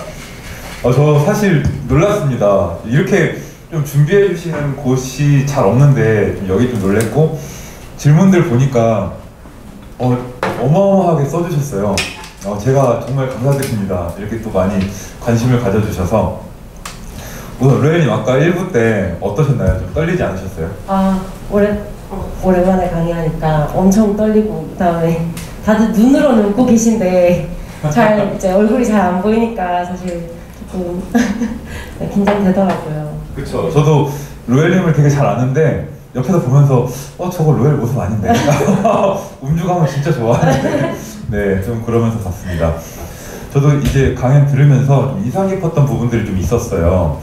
뭐 시딩이라는 단어, 네, 시딩도 저도 되게 좀 인상 깊게 봤는데 어, 저도 최근에 좀 이런 필요성을 좀 느꼈었거든요. 저도 어, 사실 제가 이제 회사를 운영하면서 아 우리도 좀 뭔가 다양한 활동들을 좀 많이 해봐야 되겠다. 원래는 저희 내부적으로만 좀 이렇게 열심히 했었는데 올해부터 좀 밖으로 좀 많이 활동도 하고 해야 되겠다 싶었었고 사실 이 여기 진로 토크도 그렇게 좀 시작을 하게 됐어요. 이제 아는 분들이랑 좀 이야기하다가 어 우리도 이제 청년들이랑 같이 소통 많이 하는데 그런 거 있으면 좀 같이 해보자 이렇게 했는데 또 이렇게 저희한테 좀 불러주셨고 그래서 시딩을 들으면서 저는 그런 생각이 좀 들었습니다. 우리 그 조금의 적극성, 네. 우리가 사실 생각은 되게 많이 해요. 뭐 누구 유명한 사람 있으면 어, 뭔가 찾아가 보고 싶다, 뭐 해보고 싶다 생각은 많이 하는데 사실 실행하기까지가 쉽지가 않단 말이죠. 그런데 이 실행이 제 생각엔 좀 대단한 게 필요한 것 같진 않아요. 남들보다 뭐 한 3%? 3% 정도의 적극성만 보여도 그게 쌓이고 쌓이고 쌓이다 보면은 어마어마한 결과가 생긴다고 생각을 합니다. 네, 저도 그 시딩이라는 말 참 음, 감사합니다. 네. 네, 그래서 저희 이 소중한 질문들을 좀 많이 주셨으니까 네. 이걸 토대로 한번 이야기 나눠보도록 하겠습니다. 떨리네요. 우선 제가 보는데 굉장히 인상 깊은 질문이 하나 있었어요. 여기 써니셋이라는 분이 써주셨는데 이분도 MFP래요. 아이고야. 네. 몇 없는. 아, 네. 일단 한번 네. 봐보시고 혹시 써니셋님 어디 계세요? 어, 아, 봐라. 아, 역시 감사합니다. MFP는. 네, MFP는 아, FP는 바로 어? 앞에 앉아야죠. 어, 저 혹시 마이크 또 있나요? 어, 네. 그 선생님께 한번 질문을 드려보고 싶어요. 이거 제가 한번 네. 할게요. 선생님 여기 남겨주신 게 이제 어, 무엇에도 쉽게 질리는 편인데 엔잡도 잡이다 보니까 질려도 그만두기가 어려울 것 같아요. 뭐 이런 질문을 주셨거든요. 해결 방법이 있다면 공유해 주시면 감사드리겠습니다. 어떻게 이 질문을 하게 됐는지 한번 다시 한번 설명해 주실 수 있을까요? 아, 제가 좀 좋아하는 취미도 그렇고 이제 좋아하는 게 많아서 뭐 뮤지컬도 좋아하고 뭐, 뭐 아이돌도 좋아하고 뭐 독서하는 것도 좋아하고 뭐 언어 배우는 것도 좋아하고 뭐 여행하는 것도 좋아하고 그래서 되게 얕, 얕은데 깊지는 아, 그 얕은 지식만이 제가 많이 있었어요. 그 이유가 이제 부모님도 좀 뭐라 하시는 게 여기만 했다가 하다가 빠져나오고 여기 질리면 하고 빠져나오고 이래서 부모님이 이걸 되게 마음에 안 들어 하셨거든요. 근데 저도 제 성격이 그게 마음에 안 들었는데 이게 좀 갈수록 뭔가 저는 나쁘지 않다고 생각을 하기는 하는데 이제 직업에 있어서는 어느 정도 깊이가 있어야 된다고 생각도 하고 그래서 이제 좀 쉽게 질리면 안 된다고 생각을 하는데 그래서 혹시 이제 같은 FP로서 혹시 해결 방안이 있는지 그게 궁금해서 이제 제 삶에 대해서는 약, 얕고 이제 여러 지식이 있는 건 좋은데 이제 직업에 있어서는 제가 전문성을 갖고 싶거든요. 그래서 한 직업에 대해서 되게 어, 질리지 않고 오래 할 수 있는 거 저는 뭐 1년도 진짜 길거든요. 그래서 그런 식의 해결 방안이나 아니면 그런 고민을 해보셨던 적이 있는지 궁금해서 아, 네, 어떠신가요? 아, 저 진짜 너무 공감 가는 게 제가 어렸을 때부터 안 해본 악기가 없고 안 해본 춤이 없고 저도 저희 엄마가 매번 하는 게 너한테 돈 쓰는 게 너무 아깝다 하는 정도로 제가 한, 걸, 한 개를 6개월 이상 넘어본 적이 너무 없었어요. 어, 그 아까 질문해 주셨듯이 사실 저도 제, 저 장점이라고 생각해요. 옛날에는 남들은 고등학교 때만 해도 애들이 저랑 같이 춤추던 애들이 이제 갑자기 댄서가 되어 있고 이러더라고요. 그래서 나는 왜 한 가지에 집중하지 못할까에 대해서 엄청 고민을 많이 했는데 지금은 오히려 저의 장점인 것 같아요. 그만큼 다양한 경험을 했으니까 난 사회에 나가서도 다른 사람들이랑 훨씬 더 소통이 더 잘 될 수 있거든요. 모든 사람들이 다 같은 취미를 가지고 있는 건 아니기 때문에 어, 나는 이 사람은 이 취미로 나도 해봤어 이렇게 소통할 수 있고 그러다 보니까 저는 이야기 물꼬가 잘, 터, 잘 트는 편이더라고요. 그래서 저의 이게 장점이라고 생각하고 이제 직업으로 이 성격을 어떻게 해야 되나 했는데 사실 전문성을 전문성 있게 하기 위해서는 뭐 저희가 생각하는 정말 지루한 거 딱 싫어하시는 스타일이시잖아요. 그래서 저도 책을 너무 싫어하거든요. 근데 다들 전문성이라고 하면 책을 다 생각하시더라고요. 저는 책을 한 자도 잘 못 읽어요. 너무 지루해서. 저만의 방법을 좀 찾았어요. 내가 지루하지 않고 할 수 있는 게 어떤 것이 있을까 하다가 저는 자기 개발을 아까 전에도 말씀드렸듯이 유튜브로 자기 개발을 한다고 했잖아요. 매번 10분짜리가 안 넘는 쇼컷의 유튜버들을 보면 다양한 정보는 확실하게 주되 빨리 끝나요. 별로 덜 질리더라고요. 저 같은 경우에는. 그래서 많은 사람들 최신 동영상을 보다 보니까 어, 여러 명을 또 볼 수 있고 생각보다 덜 질리더라고요. 그런 방식대로 한 가지 주제인데 좀 다양한 내가 좀 어, 안 질릴 수 있는 방법들을 좀 찾아가서 좀 더 공부하면 또 괜찮지 않을까 직업으로 어, 그런 생각이 듭니다. 혹시 최근에 좀 도전을 하셨다가 쉽게 그만둔 뭐 이런 것들이 또 있으세요?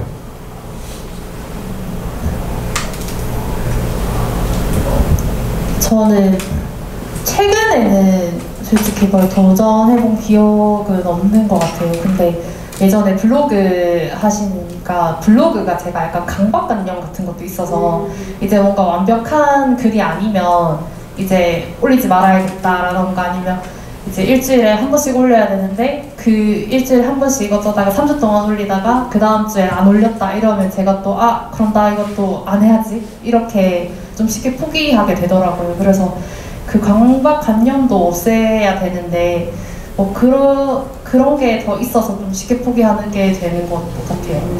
이 강박관념이 MFP의 특징인가요? 사실 두려워하지만 한번 시작하면 끝까지 좀 하- 대담하게 좀 하는 게 성격이긴 한데 어, 블로그를 예시로 드셨는데 저는 안 그래도 이거 예상 질문에 이런 분들이 계시더라고요. 근데 저는 단호하게 얘기해드리자면 그냥 대충이라도 빨리 시작하라고 해요.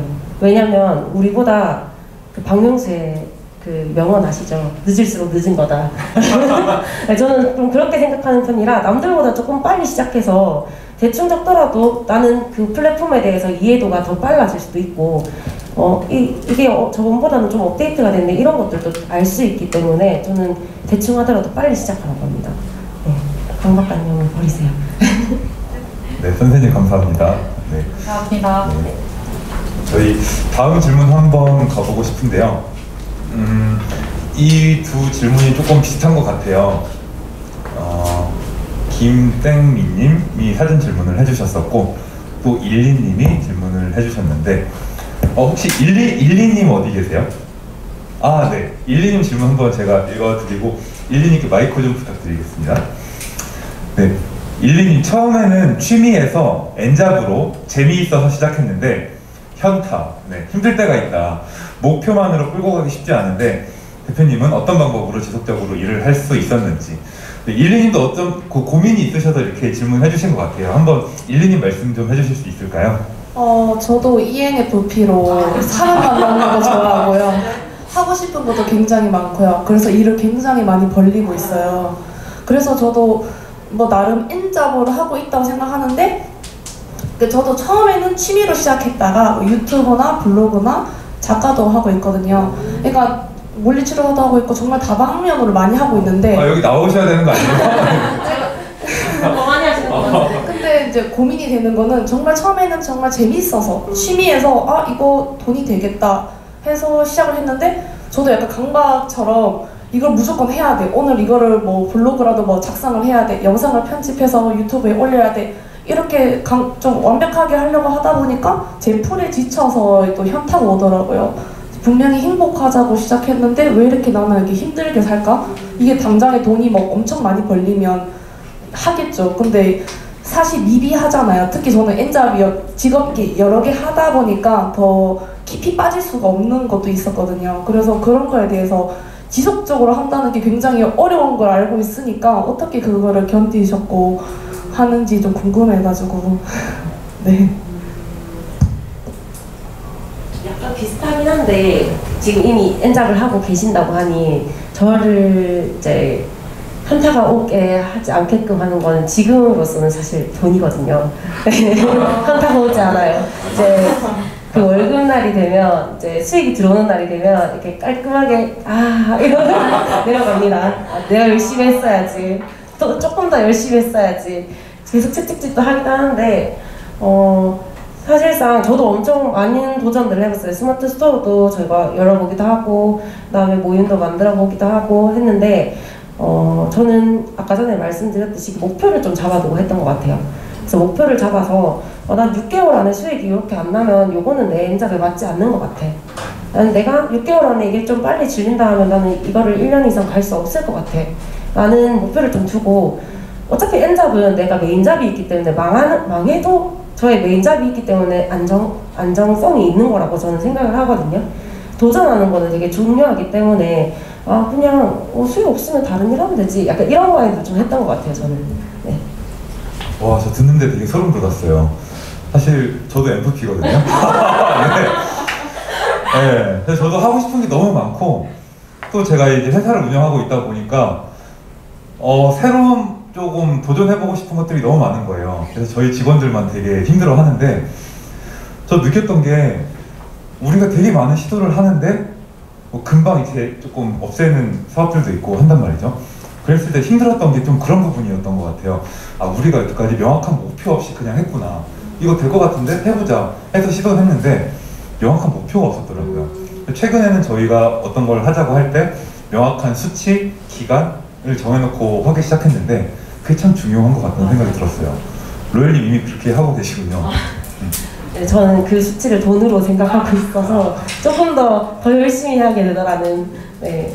아, 그럼 저희 회사에서 지금 4년째 강사로 활동하고 계신데 일단 최소치의 목표 넘어온 건가요? 왜냐면 아, 사실 이 강사를 하는 것 자체가 저는 그 키맨을 만났다고 얘기했던 그 이유가 있었는데요. 저는 그이 블로그 강의를 하는 것 자체가 사실은 어, 저한테 만족감을 주는 큰 돈은 아니지만은 이 일을 함에 있어서 부- 추가적인 부수입들이 굉장히 많이 생겨났거든요. 이 일을 놓칠 수가 없는 거예요. 이 경력을. 그래서 제가 키맨이라고 아까 표현을 했던 거고, 네, 저는. 만족합니다. 사실 굉장히 턱없이 부족한 보답인데 꾸준히 해주신다는 게 참 감사하긴 했습니다. 네. 네, 그럼 다음 질문 한번 넘어가 볼게요. 네, 혹시 이렇게 같이 이야기 들으시면서 아직 못 썼지만 어 나 이거 질문하고 싶다 하는 분들 조용히 손 들어주시면 저희가 알아서 이렇게 마이크 갖다 드릴 테니까 네, 편하게 생각해 주세요. 어, 네. 그리고 음, 다음 질문은 어, 조금 이번엔 좀 세게 갈게요. 네, 세게 가겠습니다. 네, 세게 센 질문이 좀 두 개가 있는데 어, 우선 네. 오땡그님 여기 계실지 모르겠는데요. 어, 여행 인플루언서는 이미 레드오션이 아닌가요? 다른 인플루언서와의 차별성은 어떤 게 있을까요? 혹시 이거 질문해 주신 오땡그님 계신가요? 아, 네, 일단 뭐 계실지 안 계실지 모르겠지만 네. 아 사실 어 2022년도 5월로 지금 추산했을 때 여행 인플루언서가 다른 주제 인플루언서보다 약 한 1000명 가까이 더 많아요. 어, 왜냐면 컨텐츠 발행을 할 수 있는 것들이 많고 사람들이 쉽게 접할 수 있다 보니까 여행 컨텐츠에 엄청 많이 들어왔던 것 같아요.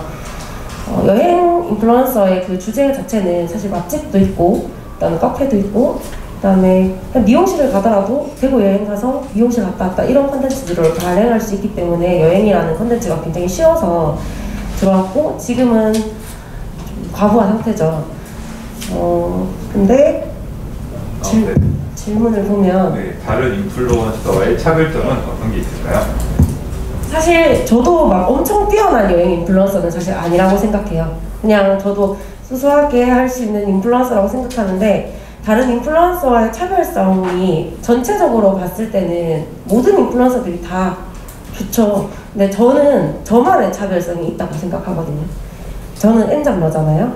엔잡러고 그다음 여행 인플루언서를 할 수 있기 때문에 나는 어, 여행 가이드도 할 수 있고 여행 관광공사에도 컨택을 할 수 있고 나중에 제 최종 목표는 해외 협찬 받는 거거든요. 뭐 이런 것들 어, 그런 것들이 아 나랑은 좀 잘 맞구나라고 해서 저는 계속 여행 인플루언서로 가는 것 같아요. 네, 본인이 만약에 블로그를 시작하시려면 본인이 어떤 거를 꾸준히 할 수 있는 주제가 있는지를 생각을 해보시고 그 인플루언서로 도전한다면 또 그거에만의 차별성이 있지 않을까라는 생각이 듭니다. 네, 감사합니다. 네, 그러면 또 저도 개인적으로 궁금한 질문인데, 어, N자 때문에 본업을 그만두고 싶으신 적이 있었나요? 라는 아. 질문이에요. 근데 좀 또 같이 연결되는 게 여러 가지 일을 하시는데 한 달 수입이 얼마 정도 되는지 아. 궁금해요. 네, 그래서 네 이것 때문에 좀 그만두고 싶었던 적도 있으신지. 아, 엔잡, 엔잡을 사실 시작하고 난 뒤에 저는 제가 어떤 사람인지 알게 됐거든요. 원래는 저는 컴퓨터 공학을 전공, 전공으로 했었고, 당연하게 나는 직장을 가진다면 개발자로 갔어야지라는 생각을 가지고 있었는데, 어, 12시간을 자리에 앉아 있다 보니까, 네, FP는 절대 그럴 수가 없거든요. 사람도 만나고, 그다음에 대화도 해야 되는데, 사람들이 컴퓨터만 보고 대화를 하고 있으니 너무 답답한 거예요. 그러다가 어, 사실 저는 엔잡로 엔잡 때문에 그만두고 싶다는 것보다 엔잡 때문에 저의 성격을 알게 됐어요. 그래서 아 나도 사람 만나는 직업을 하고 싶은데 이제 그만둘 때도 되지 않았나 하면서도 아 그래도 내가 엔잡으로 지금 이 만족을 충족하고 있으니 조금만 더 해보고 어 이거를 좀 선택해도 되겠다 해서 아직까지는 다니고 있습니다. 네. 네, 감사합니다. 아, 갑자기 좀 든 생각이 혹시 이런 자리에 온다라면 엔잡 또 이런 진로에 대해서 궁금 좀 관심이 많으신 분일 거라 생각을 해요. 이건 질문은 아니고요. 혹시 이 자리에 나 MFP다 하시는 분 손 한번 들어주실 수 있으세요? 어, 어, 의외로 많이 없으시네요. 아, 저 뒤에. 아, 네. 혹시 그 매니저님이신가요? 아니요, 늦게 와가지고. 아, 그러시군요. 아, 혹시 여기 질문 써주셨어요? 아, 아니요. 아, 알겠습니다. 그러면은 제가 5분 후에 마이크 드릴 테니까 그때까지 질문 하나 생각해 주세요. 네. 네, 믿고 던진 FP. 네. 어, 저 하나 더 궁금한 어. 거 있는데 여기 혹시 ISTJ 분 계세요? 어, 없으신가요? 혹시 손 못 드시는 거 아닌가요? 아, 아니면 윙크라도 한번. 아, 아까 그 친구분. 네, ISTJ는 엔잡에 대해서 좀 생각을 안 해봤다라고 해서 정말 그런 정말 궁금했거든요. 네. 맞아요. 이 사람 취향, 뭐 성향에 따라 다르니까요. 네. 엔잡이 뭐 정답이 아닐 수도 있는 거죠. 어, 이번에는 어, 좀 이제 전문 분야 나왔습니다. 블로그에 대한 부분인데요. 어, 블로그 글 작성 시 단어, 문장 선택 시 도움되었던 게 있다면 어떤지 어떤 게 있었는지 궁금하고요. 사진과 글의 비율이 어느 정도 되는지 궁금합니다. 어, RU 루님 혹시 계세요? 어, 아, 네, 바로 앞에 계시네요. 혹시 블로그 쓰고 계세요? 아니요 그런 건 아닌데 저도 앞에서 이제 강의를 하는 사람 아, 네. 이제 강의를 하는 사람이고 이제 사람들한테 정확한 이제 지식과 이제 그런 것들을 설명을 할 때 단어와 단어의 연결, 문- 이제 문장이 매끄럽게 연결되지 않는 경우들이 좀 꽤 있어요. 그래서 이제 뭐 책을 많이 보고 하긴 하는데 아직도 조금 많이 부족해서 그런 블로그를 보면은 되게 좀 자신만의 감성도 들어가지만 좀 전문적으로 말을 매끄럽게 잘 하시더라고요. 이제 그런 부분에 대해서 어떻게 좀 하고 계신 게 있는지 싶어서. 여기 어마어마한 분들 많으셨습니다. 네, 아마 우리 저희보다 잘하실 것 같지만 그래도 이제 로엘님의 저보다 발음이 더 좋으시네요. 어, 제가 네 보면 자, 일단 블로그 글 작성할 때 단어나 문장 선택할 때 도움이 되었던 게 있다면이라고 하셨는데 아무래도 저는 여행 컨텐츠들을 좀 많이 발행하고 SNS도 여행 컨텐츠들로 좀 많이 올리다 보니까 저의 모토가 되는 더 위에 있는 여행 인플루언서의 글들을 최신 글 이웃, 이웃을 해놓고 그분들 최신 글이 뜨면 꼭 읽어봐요. 똑같은 여행지를 가더라도 그분들은 어떻게 사진을 찍었고 어떻게 글을 적었는지에 대해서 사실 어 음, 출근할 출근할 때 만약에 지하철을 탄다면 글을 대충만 읽어도 한 40개는 읽을 수 있거든요. 네. 왜냐면 한 번 읽을 때 어, 이건 정말 주- 어, 저희가 수업할 때 한 번씩 알려드리는 건데 블로그 글을 읽을 때 사람들이 대체적으로 30초 만에 다 읽는데요. 네, 왜냐면 대충 읽으니까. 그래서 저도 정말 그렇게 대충 읽는데도 아, 이 사람은 이걸 되게 색다르게 소개했구나라는 거를 한번 알고 가더라고요. 그래서 본인이 어떤 콘텐츠로 이제 글을 작성할 건지 아니면 내가 맞는 사람, 내랑, 나랑 똑같은 주제로 글을 발행하는 사람들이 있다면 그 글을 한번 읽어보시고 어, 조금 습득하는 게 저는 좀 도움이 됐던 것 같아요. 그리고 사진과 글의 비율은 어느 정도 되는지 궁금해요 라고 하셨는데 사실 저도 이게 너무 어, 블로그를 하면서 한 번씩 현타가 오는 게 사진은 예쁘게 꾸밀 수 있는데 글을 참 아, 했던 말을 또 해야 되나? 약간 그렇게 자본주의의 삶을 살아야 되나? 약간 이렇게 할 때가 있는데 지금은 그냥 사진 올리면 밑에 글은 한 세 줄 정도 적는 정도로 정말 필요한 정보만 딱딱 제공하려고 최대한 노력하고 있고 그다음에 글을 적을 때 만약에 블로그 하고 싶으신 분들이 계시다면 어, 네이버 네이버 지적에서도 이런 블로그 글 작성법에 대해서 어, 동영상 크리에이터들 동영상들이 굉장히 많이 뜨거든요. 강, 강의들이 많이 뜨는데 거기에서 제가 정말 인상 깊었던 거는 제일 위에 줄에 본인만의 감성이 담아 있는 한 줄을 적어라 라고 하시더라고요. 그래서 그분이 어떻게 얘기하셨냐면 글을 적을 때 제일 첫 줄에 엄마는 나를 싫어했다. 이렇게 사람들이 이목을 끌지만은 정말 팩트인 거죠. 엄마는 나를 싫어했다. 그럼 사람들이 왜 싫어해? 그러고 난 이제 스크롤이 내려가는 거죠. 그러면서 이제 스토리가 시작되는데 스토리가 궁금하니까 이 첫째 줄, 첫째 줄이 끝에까지 가는 매력이라고 생각한대요. 그래서 그런 첫째 줄을 한번 잘 잡아 보시는 것도 본인만의 스타일로 잘 잡아 보시는 것도 괜찮을 것 같다는 생각 듭니다. 아, 네. 헤드라인이 참 중요한. 네. 네. 맞아요. 네, 또 연이어서 루님의 질문. 네, 아, 많이 써주셔서 너무 감사드립니다. 네, 이번 질문은 많은 사람들을 만날 수 있는 모임은 어디서 찾아보시는지 궁금합니다. 그리고 에너지가 방전됐을 때 어, 율루엘님만의 해결 방법이 있다면 무엇일까요? 네. 자, 일단 제가 많은 사람들을 만날 수 있는 모임은 여기 대표님이 운영하고 있는 모임에 자주 가서 다양한 수업도 듣고 사실 저도 이런 게 대구에 있을 거라고는 생각을 잘 못했을 때 이 모임에 이제 우연찮게 들어가게 됐거든요. 어, 아까 전에 소개했을 때도 얘기하셨듯이 제가 평생 해보지 못할 DJ도 해보고 그다음에 지금 뮤지컬도 있고 뭐 연극도 있고 이런 직장인들이 할 수 있는 그다음에 청년들이 할 수 있는 모임들이 굉장히 많아요. 어, 그래서 저는 이런 플랫폼에서 찾기도 하고요. 그 다음에 소모임 어플에서도 저는 많이 찾습니다. 어, 어쨌든 저희 대구 안에서 있는 사람들을 모여서 이제 정보 공유할 수 있는 게 소모임 어플이라고 생각하거든요. 그래서 거기에서도 좀 많이 찾아서 활동하는 편입니다. 그 다음에 에너지가 방전됐을 때 율로엘님만의 해결 방법이 있다면 무엇입니까? 네, 저는 음주 가무를 하면 에너지가 충전이 됩니다. 네, 그래서 주말 주말 딱 금요일 날 밤에 네, 제가 모든 일을 끝내고 난 뒤에 금요일 날 밤에 자기 개발을 음주 가무로 합니다. 네, 그러면 에너지가 충전이 되더라고요. 그래서 도움이 됐을지 모르겠네요. 아 저는 정말 율로엘님 대단하다고 느끼는 게 아까도 좀 이야기해 주셨지만 음주감은 진짜 좋아하거든요. 어 그리고 항상 보면은 저는 이제 같은 단톡방에 있어서 보면은 이상하다 항상 술 마시러 다녀요.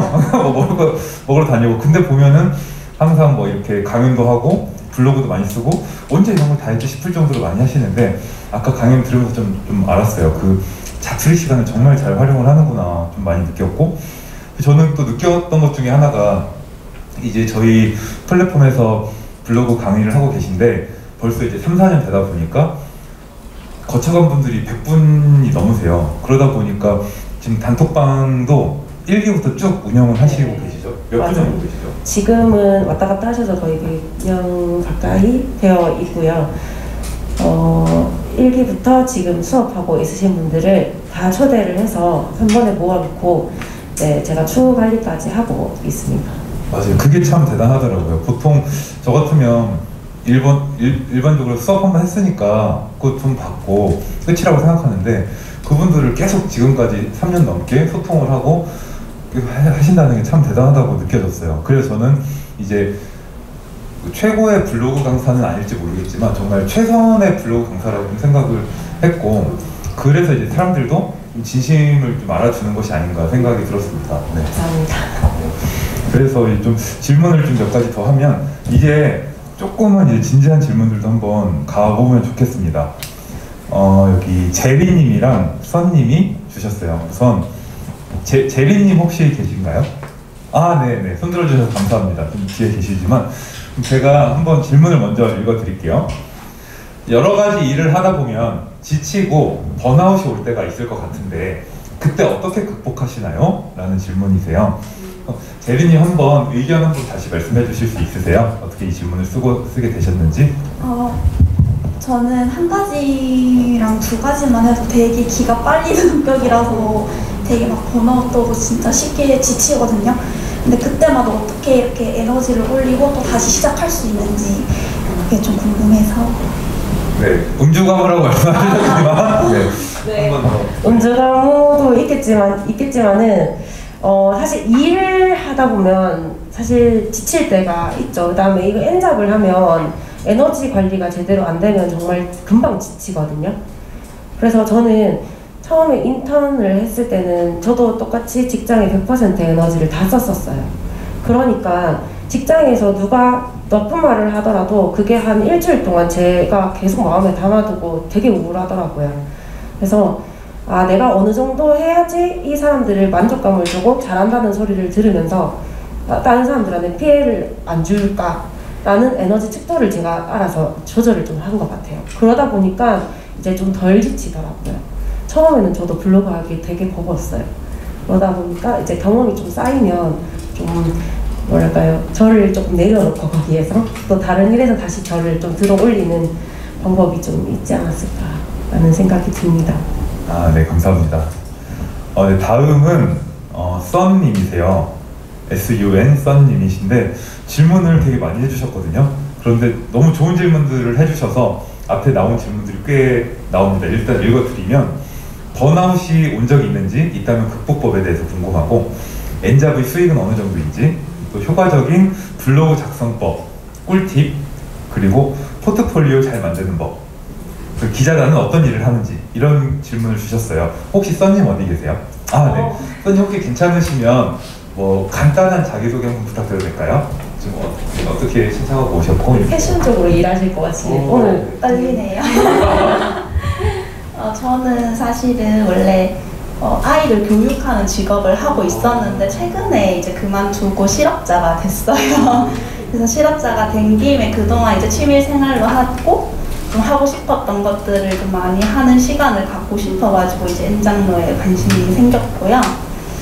좀 성격이 목표 지향적인 성격이다 보니까 좀 목표를 이루기 위해 스스로한테 해야 된다는 노력을 좀 기준이 높아요. 그래서 노력을 해서 목표를 이뤘을 때 번아웃이 좀 쉽게 오더라고요. 그래서 그런 부분들이 좀 궁금했어요. 아, 네, 감사합니다. 그럼 여기 질문이 이제 번아웃 극복법, 엔잡 수입, 그리고 효과적인 블로그 작성법, 포트폴리오 잘 만드는 법, 기자단 어떤 일 하는지 이 중에 혹시 그 가장 궁금한 거 한 개만 좀 뽑아주실 수 있으실까요? 어, 웬만해서는 아까 전에 다 답변을 해주셔가지고 포트폴리오 관련해서 좀더잘 듣고 싶어요. 네, 저는 사실 포트폴리오라고 해서 남들은 PPT 뭐 아니면 이력서 이렇게도 많이 생각하는데 저는 일단 제 블로그에 제 모든 일상을 다 녹이기 때문에 어, 제목에다가 만약에 강의라고 쳤을 때 강의한 내용이 쭉 다 뜨게끔 이렇게 해놨어요. 그러다 보니까 내가 강의가 필요한데 포트폴리오를 제출해야 된다? 그러면 난 블로그에 이렇게 링크를 다 달아서 제출해도 저는 포트폴리오가 되는 거죠. 근데 사실상 이렇게 하는 것도 있겠지만은 그게 싫은 사람들도 있겠죠.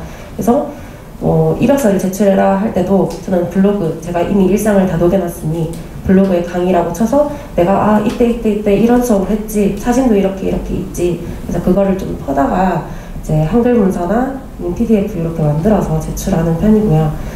어, 사실 이런 작업들이 기존에 없으셨다면 어, 지금부터라도 내가 어떤 노력들을 했는지에 대해서 본인 일기라도 조금 적어 놓으시면 나중에 키워드별로 일기를 좀 적어 놓으시면 좀 찾기 쉽고 포트폴리오가 되지 않을까라는 생각이 듭니다.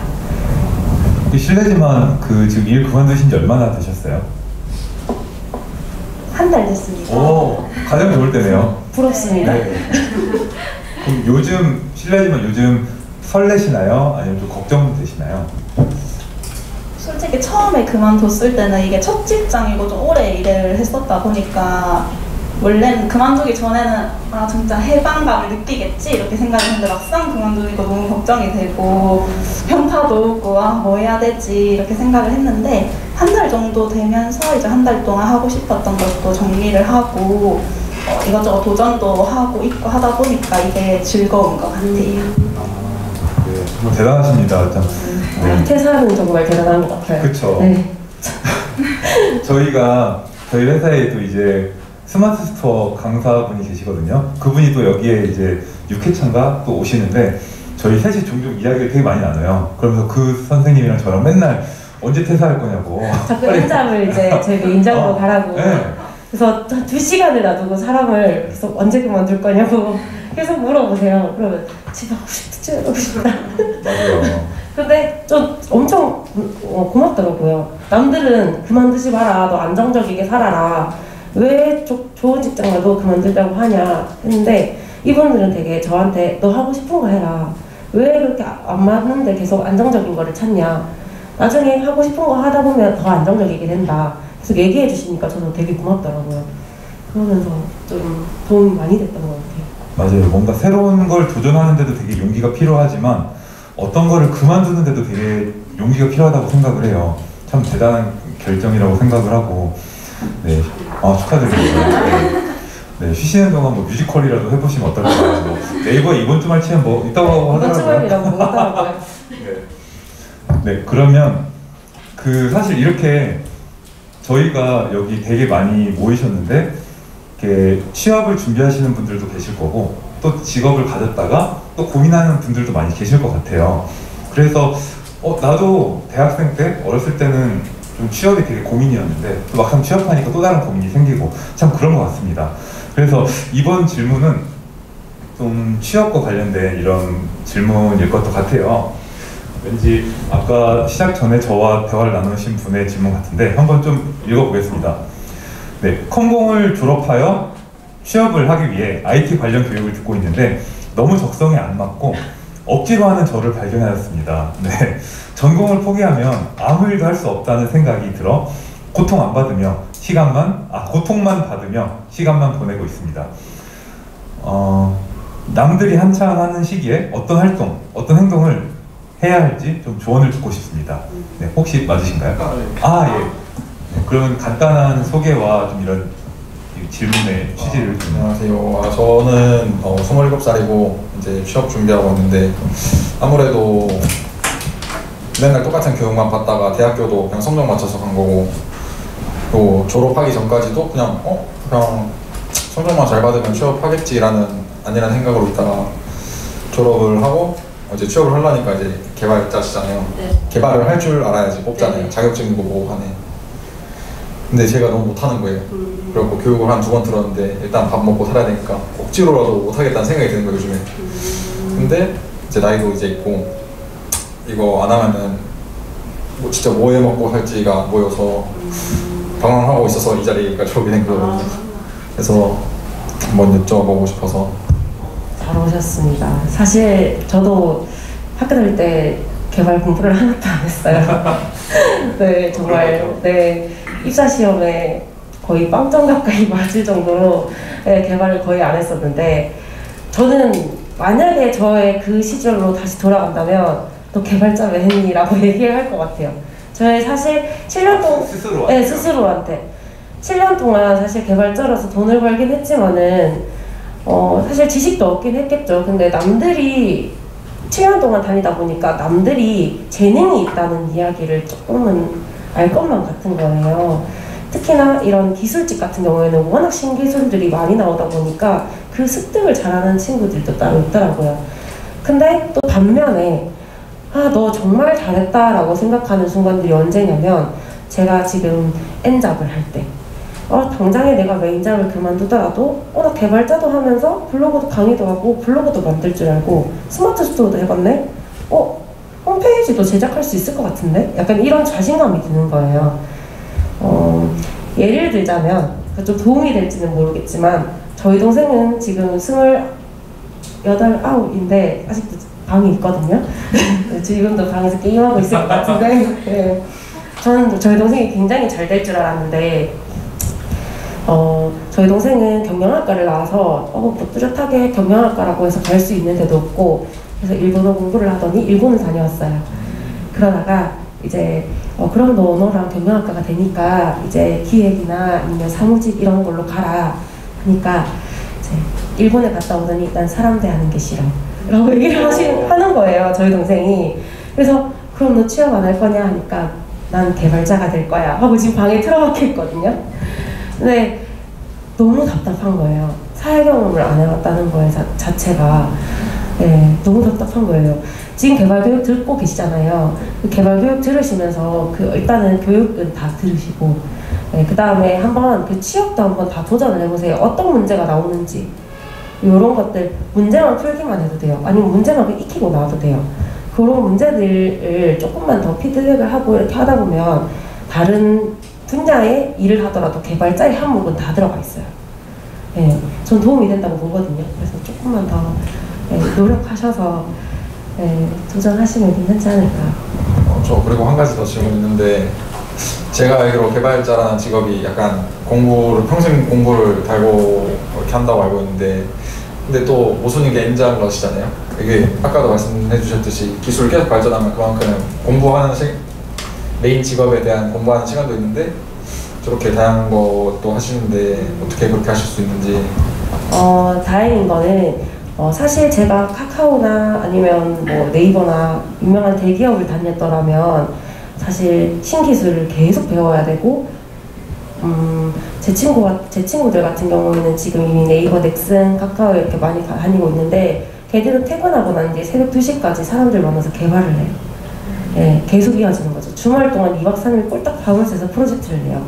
이런 친구들이 있는데 저 같은 경우에는 그렇게 개발자에서 이렇게 굳은 노력을 안 쏟아도 되는 게 어, 저희 저희 직업 자체가 워낙 개발에 개발 기술에 대해서 되게 보수적이고 보안이 좀 세서 신기술을 들일 수가 없어요. 그래서 옛날 기술을 좀 오랫동안 가지고 가는 일을 하고 있어요. 그러다 보니 내가 조금만 익혀도 다시 신기술을 배울 필요가 그렇게 크게까지는 없는 거죠. 어, 그거는 제가 따로 만나서 네, 제가 좀 이따가 한번 다시 설명해 드릴게요. 아, 네, 감사합니다. 확실히 이제 개발자 선배님이시다 보니까. 네. 근데 아까 저도 좀 이야기를 잠깐 나눴는데 개발을 하고 계시지만 개발 공부를 하고 계시지만 그게 너무 좋아서 하는 건 아니다라고 좀 말씀을 해주셨던 것 같아요. 근데 혹시 여기 계신 분들 중에 어 나는 이 전공을 했는데 어 내가 직업을 선택했던 거는 그 전공과 조금 상관이 없다 하시는 분들 혹시 계실까요? 어, 어, 되게 많이 계시네요. 우와, 어, 많이 계시네요. 어, 네, 감사합니다. 용기 있게 손들어 주셔서 감사합니다. 아, 원래는 이런 거좀 손들게 시킨 다음에 질문하면 되게 원래 안 되는 건데, 싸가지 없는 건데, 죄송해요. 너무 많이, 네, 많이 계셔서. 혹시 뒤에 계신 그 남자분 이렇게, 어, 네. 어, 두 분 다요. 네. 혹시 말씀 한 번만 좀 해주실 수 있을까요? 어떤 전공이었고, 또 어떤 직업을 선택하셨는지. 그 저는 호텔 경영 전공했었고 지금은 광고 기획하고 있습니다. 우와. 어. 그럼 그 호텔 경영을 전공하셨다가 네. 이 광고 쪽을 하실 때 네. 좀 이런 겁나거나 좀 이런 건 없으셨어요? 어, 그때가 작년이었는데 그렇게 겁은 없었던 것 같습니다. 그냥 대신 실패는 많이 했어요. 그 지원서를 서른 군데 정도 넣었고 면접을 거의 일곱 여덟 군데 봤는데 마지막 한 곳이 붙어서 거기서 일하고 있습니다. 아, 네 그러면은 그 호텔 경영을 공부하실 때는 당연히 이제 그쪽으로 취업을 하겠구나 어느 정도는 생각을 하셨을 것 같은데 지금 전혀 다른 길을 걷고 있는 지금에서 생각했을 때 좀 어떤 것 같아요? 내가 좀 다, 전공과 다른 직업을 선택한다라는 게 뭐 리스크가 큰지 아니면 뭐 전혀 상관없는지 어, 뭐 어, 어떤 것 같으세요?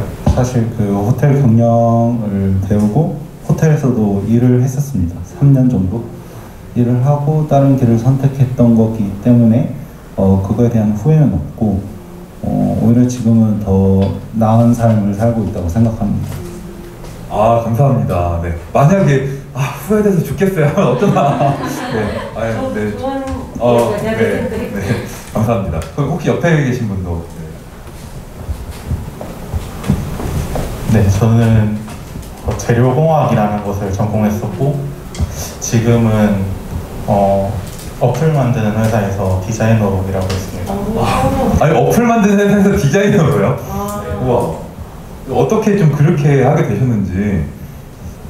어, 원래는 원래는 그 일반 이런 옆에 있는 것처럼 이런 포스터 디자인 이런 거를 배웠었는데 실제 딱 회사에 들어가고 나서 봤더니 어플을 만드는 데더라고요. 그래서 아, 이게 조금 잘못됐다 생각했는데 이제 어느 정도 시간을 주신다 해서 한번 해봤는데 생각보다 또 적성에 맞고 그래서 계속 공부하면서 다니고 있습니다. 와 재료공학에서 디자인을 한다라는 건 참 거의 그쵸 이과에서 뭐 문과 예능 약간 이쪽이잖아요. 네. 그럼 지금은 어떠세요? 좀 만족하고 계신가요? 재미있긴 한데 이게 전혀 알던 거랑은 전혀 180도 다른 그런 느낌으로 일을 하고 있다 보니까 어 실제 일을 하기 위해서 배워야 될 것들이 좀 많더라고요. 그래서 뭐 퇴근 이후에도 계속 공부해야 되고 뭐 어느 직업이나 다 그렇겠지만 그런 것처럼 좀 더 공부하는 시간이 좀 많아졌다고 생각합니다. 아, 그쵸. 이제 새로운 전공이다 보니까 또 그만큼 노력도 해야 되고 좀 그런 부분이 있을 거라고 생각이 듭니다. 사실 저희가 오늘 그 진로 토크다 보니까 정말 이런 전공과 상관없는 일을 한다는 게 참 되게 소중하게 느껴져요. 그래서 혹시 괜찮다면 아까 여기 한 번 더 계셨던 것 같은데 마- 맞으신가요? 어, 네네. 어, 한- 좀 이야기 좀 들려주실 수 있으실까요? 아, 죄송해요 질문해서. 네. 어, 저는 관광경영학과 전역 전공했고 어, 제가 졸업하던 시즌에 코로나가 터져서 어, 그쪽 계열로는 이제 어렵겠다 싶어서 세무 쪽으로 공부를 해서 직장을 다니다가 저도 최근에 퇴사를 했습니다. 와, 그 어려운 세무를 새로 공부하셔서 들어가신 거예요? 네. 아, 이거 막상 해보니까 좀 어떻게 느- 느껴지셨나요? 어, 일단은 제가 속된 말로 세상 물정을 몰랐는데 세무 공부하면서 좀, 아, 세상 돌아가는 것도 좀 알고 다른 사람들 대화에도 좀 낄 수가 있게 된 것 같더라고요. 근데 좀 적성이 너무 안 맞아서 네, 퇴사를 하게 됐습니다. 아, 네, 이제 관광 경영 하셨고 또 세무도 했는데 또 안 맞아서 새로운 걸 좀 찾고 계신 거네요. 네, 그래서 아, 또 다른 공부를 하고 있어요. 음, 맞 아. 이미 한 번 이렇게 바꿔 보셨으니까 또 그만큼 겁은 어, 네, 그러실 것 같습니다. 네, 사실 이제 너무 질문을 좋은 질문을 해주셔서 좀 많이 다른 분들의 생각도 좀 들어보고 싶었고요. 사실 저도 그렇거든요. 저도 이제 기계공학 아까 말씀드린 것처럼 저 기계공학을 전공했고 대학원에서는 이제 신소재를 전공했어요.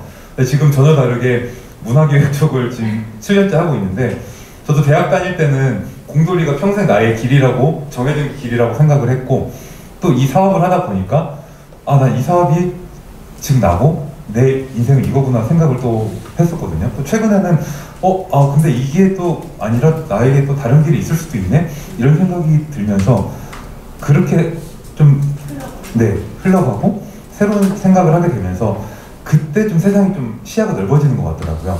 그래서 아마 지금 걱정 되게 많이 하고 계실 것 같은데 걱정하시면서도 또 만약에 개발로 돼도 너무 좋지만 다른 길을 선택을 하게 되시더라도 어, 전 그만큼 또 성장을 할 수 있지 않을까 좀 생각이 듭니다. 그래서 그래서 로열님이 엔잡을 하니까 엄청 이, 이만큼 성장하신 거 아니에요? 어 맞아요. 제가 만약에 개발자로 이제 계속 회사에 다녔더라면 저도 트렌드 이런 거에는 사실 관심도 없고 저 뉴스도 사실 잘 안 봐요. 좀 고리타분하다고 생각해서 근데 어 나는 책도 안 보는데 그럼 난 어디서 정보를 얻을 수 있을까 이런 걸 엄청 고민했었는데 사실 엔잡을 하지 않았더라면 저도 그냥 사무실에 박혀 있는 그냥 일하는 노예가 아니었을까라는 생각을 가끔씩 하곤 합니다. 맞습니다. 이제 그런 정보를 어디서 얻었을까? 어떻게 또 알고 제가 다음 질문이 그런 거였거든요. 아, 네. 엔장러 관련 책, 유튜브 채널 등 도움받을 만한 책이나 콘텐츠를 발행하는 채널을 알려주실 수 있을까요? 네. 이분은 닉네임이 없으셔서. 네. 질문하신 분. 어, 아, 네. 그러면은 마이크 한 번만 좀 부탁드릴게요. 평소 유튜브 많이 보시나요?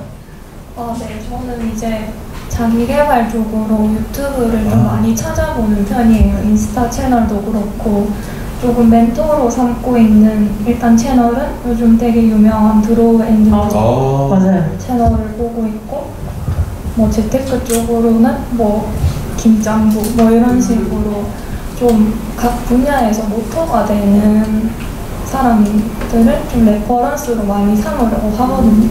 그래서 N잡러는 제가 잘 모르겠어서 한번 여쭤보고 있어요. 저는 N잡러라고 해서 N잡러 콘텐츠를 사실 보는 건 아니에요.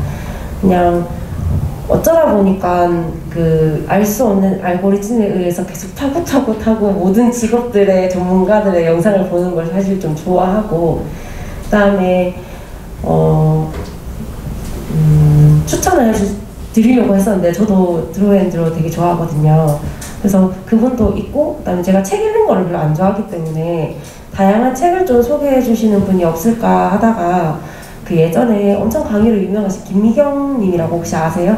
네, 김미경 그분 그, 그 김, 김미경 강사님이 되게 다양한 분야의 책의 작가를 소개를 해 주시고 거기에 어, 어떤 식으로 실천을 해봐라라는 이런 컨텐츠들을 계속 만들고 계시거든요.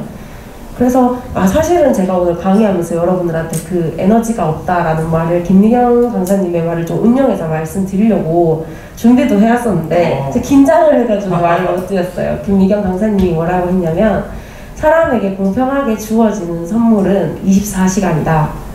이렇게 얘기를 해주셨거든요. 저는 그거에 되게 엄청 깊이 감명을 받았어요. 저왜 그렇게 감명을 받았는지는 모르겠지만 그냥 책의 한 구절이었는데 너 24시간 이러니 남들은 이 꿈을 이룰 시간에 너는 자고 있으면 안 돼. 약간 이렇게 좀 푸시푸시 해주신 것 같아요. 그래서 그런 것도 많이 보고 그다음에 어, 이건 조금 저만의 방법이긴 한데 제가 이제 마케팅이나 기획, 강의 이런 것들을 하다 보니까 아무래도 새로운 뉴스 이런 것도 잘 알아야지 뭐 MZ 세대들이 어떤 걸 좋아하고 이런 것들도 잘 알 수 있겠죠. 그래서 어, 어쨌든 그런 것들이 전부 다 마케팅 채널에서 좀 많이 올라오거든요. 그래서 저는 SNS, 인스타그램에 마케팅 채널, 아, 마케팅 소식 이런 것들 해시태그로 검색해서 좀 팔로우 수 많은 것들로 전부 다 팔로우 신청을 해놓고 그 사람들이 최신글 올라올 때 내 친구들 피드도 같이 보면서 그것들을 한 번씩 읽고 지나가게끔 무조건 해놨어요. 그래서 어, 제가 굳이 읽고 싶지 않아도 내 눈에 들어오게끔 마케팅 소식들이나 뉴스들이나 뭐 해외 뉴스, 그다음 뭐 이런 것들 많거든요. 그런 것들 팔로우 해놓고 자주 자주 보는 편입니다. 어, 저도 생각난 게 하나 있어요. 요즘 좀 이슈가 되는 채널인데 요즘사라고 혹시 아시나요? 네, 요즘 것들의 사생활. 아, 네. 네, 그 KBS에서 좀 약간 뭔가 이렇게 카피했다고 하면 이슈가 있는.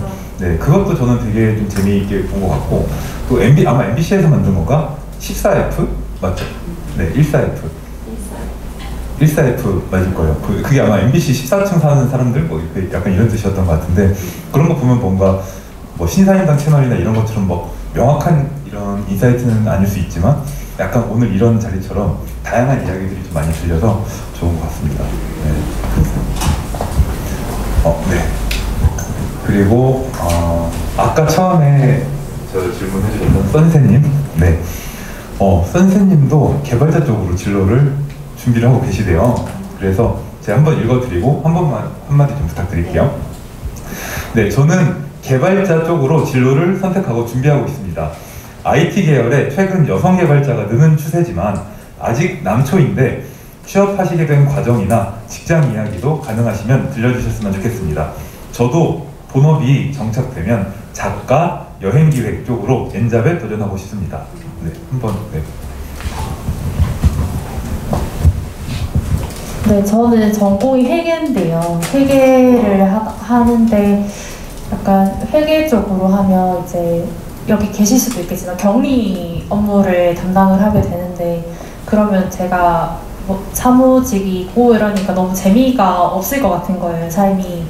그래서 뭔가 좀 새로운 것도 해보고 싶고 제가 주도적으로 이제 해 나가는 직업을 이제 찾고 싶고 또 전문성이 있는 직업을 찾고 싶은데 그게 이제 제 전공이랑 맞물리려면 진짜 뭐 회계사가 되거나 이렇게 좀 제가 하기 조금 어려워서 우연히 이제 데이터 분석이라는 쪽을 알게 됐어요. 그래서 데이터 분석 관련해서 이제 그쪽이 이제 컴퓨터 IT 쪽이니까 그래서 그쪽에 지금 이제 단위 내일부터 수업을 듣기로 했거든요. 그래서 이제 6개월 과정인데 그거 이제 끝나면 이제 취업을 해야 되니까 근데 실생활에 아니, 이제 실제로 취업을 했을 때 어떤지 저는 궁금해가지고 네, 질문 드렸습니다. 어, 사실 개발자라는 직업이 서울 쪽에 가면 워낙 여성분들도 많고 남자 남성분들도 많고 어, 직급이 없고 이런 경우가 많은데 저는 지금 대구에서 개발자를 하고 있으니까 아무래도 아직까지는 남성분들이 많으세요. 저희 회사 같은 경우에도 지금 저희 같은 팀으로 일하고 계신 분들이 남자분들이 거의 한 120명 정도 되고 여성분들이 한 10명도 채 안 되는 곳인데 그렇다고 해서 요즘 제가 처음에 입사했을 때는 사실 어 조금 조금 저도 약간 부당한 대우를 받았다고 생각을 해요. 근데 지금 같은 경우에는 실력으로 다 판단하는 것 같아요. 그래서 개발자는 개발만 잘하면 된다. 약간 이런 마인드로 다들 좀 되는 것 같고 어 그다음에 네 죄송해요. 저 기억력이 안 좋았어요. 괜찮아요. 엔잡하다 보면 그럴 수 있죠. 그다음에 취업하시게 된 가정. 아, 저는 취업을 좀 특이하게 했어요. 이게 뭐냐면 대학 다닐 때는 대학생만의 특권이 있어요. 그게 이제 대학생들 교수님 추천을 받을 수 있는데 교수님 추천을 사실 받을 수 있는 성적도 아니었고 그냥 어 학- 그냥 학교를 다니는 학생이었는데 제가 그때 학과 사무실에서 알바를 하고 있었어요. 학과 사무실에서 알바를 하고 있는데 교수님 추천을 받은 그 친구 세 명을 꼽을 수 있는데 그 친구들 세 명이 나 대구에서 기업 안 다닐 건데 추천하지 마세요 하고 그 당일날 다 취소를 한 거예요. 그래서 기회는 이때다. 교수님 저는 추천해 주시면 정말 열심히 다닐 수 있습니다. 제가 이 대학교에서 빛나는 일원이 되겠습니다. 그래서 교수님을 쪼르고 쫄라서 정말 마감 시간 1시간 전에 준비됐던 이력서를 내고 약간 통과가 된 케이스거든요. 시딩인가요? 네, 시딩입니다. 근데 어 사실 취업 내가 내가 먼저 어떤 분야에 갈지 모르기 때문에 저는 되게 다양한 분야의 이력서를 좀 많이 준비를 좀 해놨던 것 같아요. 내가 정말 취업이 될 수 있을까라는 걱정과 동시에 좀 준비를 좀 많이 해놓고 기회를 좀 많이 엿봤던 것 같아요. 그래서 어쩌다가 저는 취업이 되었습니다. 네. 어, 본업 정착하시면 개발자라는 직업은 요새 재택근무도 많으니까 엔작 충분히 하실 수 있을 거라고 믿습니다. 아, 네, 감사합니다. 아, 네. 그리고 이제 저희가 정말 이 아무래도 진로고 또 엔잡이다 보니까 진짜 좀 궁금한 것도 많고 서로 이야기 나누고 싶은 것도 되게 많을 것 같아요. 사실 저는 마음 같으면 좀 이런 자리가 아니라 삥삥 둘러 앉아서 맥주 한잔 하면서 편하게 좀 이야기하고 싶은데 아 언젠가 좀 그런 날이 오겠죠? 아마 성인센터에서 좀 기회를 봐서 좀 만들어 주시지 않을까 생각을 합니다. 혹시 오늘 이야기하면서 어, 이 부분은 조금 궁금한데 이것도 이야기해 줬으면 좋겠다 하는 부분 혹시 있으실까요? 좀 편하게 손 들어 주셔도 될 것 같아요. 어, 아, 맞네요. 맞네요. 아, 네. 제가 이제 시간이 다 돼서 네, 끝판왕으로 저 준비했어요. 네, 안녕하세요. 네. 네, 맞습니다. 네, 우리 믿고 맡기는 MFP. 네. 어, 네, 저 끝에. 1등 마무리예요? 네. 혹시 간단하게 자기 소개 좀 부탁드려도 될까요? 어, 저는 그 27살이고요. 그 아까 저 앞에 계신 저랑 동갑 분이랑 비슷한 고민 때문에 여기 찾아가게 됐거든요. 저도 경영학 전공이고 이제 작년에 회계사 준비를 하다가 도저히 못 하겠더라고요. 진짜 그래서 책 그냥 태우고 다시 보고 역시 확정하시네요. 다- 그 영상으로 찍어놨거든요. 다시는 안 하겠다고. 그래서 이제 복학을 해서 마지막 학년을 다녔어요. 아, 다니고 있는데 이제 다음 학기면 끝인데 보통 경영학 전공이면 은행이나 뭐 공공기관이나 뭐 이렇게 취업을 하거든요. 근데 저는 24살에 전역을 했는데 그때부터 약간 배우라는 꿈이 생겼어요. 근데 아 이거 도저히 안 되겠다. 그냥 참고 살아야겠다 했는데 아직까지 계속 생각이 나거든요. 그래서 아까 전공 아닌 쪽으로 이제 분야를 선택하신 분들 얘기를 들어보면 이거를 계속 생각할 바에 그냥 할까 고민이 계속 되는데 근데 하면서도 일단은 취업은 해야겠지라는 생각에 오늘 녹화말 필기책 사왔거든요. 하고 싶은 게 많으시네요. 네. 그래서 어떻게 해야 될지 고민이 됩니다. 제, 저의 무게가 엄청 커지는데요. 여기서 공부를 조금 더 하라 하면 너 왜 그때 내가 하고 싶은 거 못하겠니? 이럴 수도 있을 것 같고 너 공부하지 말고 너 하고 싶은 거 해 하라고 하면 사실 어 사실 현실성은 좀 떨어지지 않나라고 생각이 드는데 어, 조금 더 절실한 거를 생각해 보시면 될 것 같아요. 조금 더 절실한. 저도 퇴사를 하고 싶은 욕구들은 정말 많았지만은 조금 더 절실한 건 전 돈이 너무 벌고 싶었어요. 그래서 아직까지 퇴사를 못했던 것 같거든요. 어, 저도 하고 싶은 게 워낙 많았는데 사실 하고 싶은 거를 다 했더라면 저는 이미 파산 상태였을 거예요.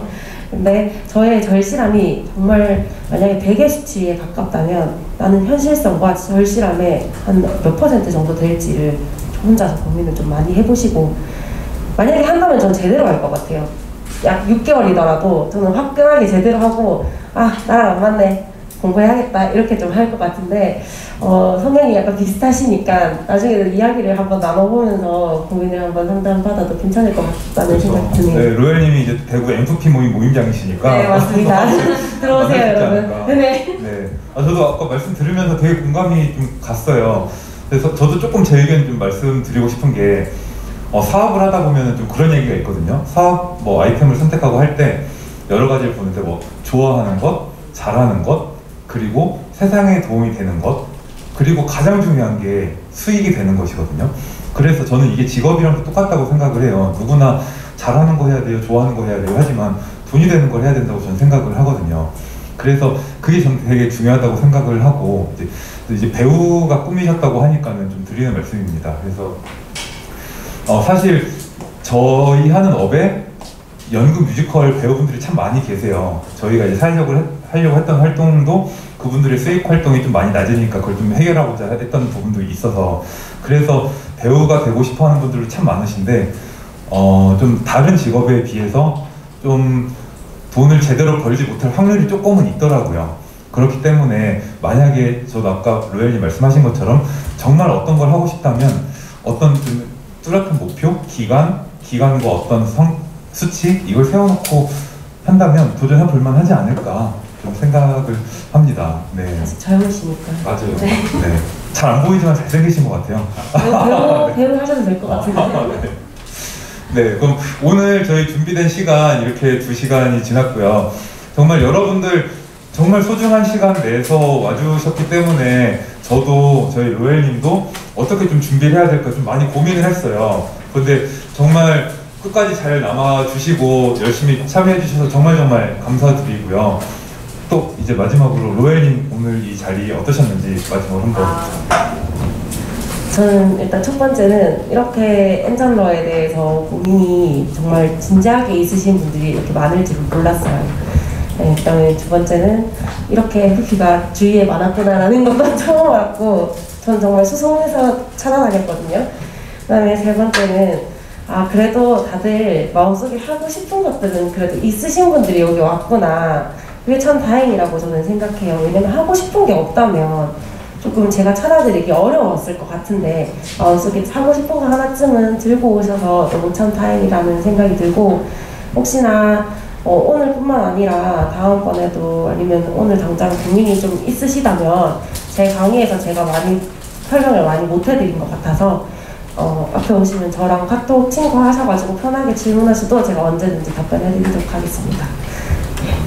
네, 참 이런 자리가 좋은 이유는 어떤 고민이 해결되는 것보다도 아 이런 나만 이런 고민을 하는 게 아니구나 이런 고민 다 같이 하는 거구나 이런 좀 공감 위로의 측면이 더 큰 것 같아요. 그래서 그런 의미에서 저는 오늘 굉장히 저 스스로도 저 요즘 되게 고민 많은 시기거든요. 저 되게 스스로 되게 위안이 되었고요. 또 이런 자리를 마련해 주신 대구 청년센터 또 홈페이지 가보시면 이 진로 토크도 물론 좋지만 되게 다양한 좋은 프로그램들이 많이 있으니까 꼭 한번 참고를 해봐 주시고 이- 일단 오늘 자리 마련해 주신 청년센터 여러분들께 박수 한 번만 좀 부탁드리겠습니다. 네, 그리고 오늘 늦게까지 오늘 멋진 강연 해주신 로엘님께도 큰 박수 부탁드리면서 마무리하겠습니다. 네, 감사합니다.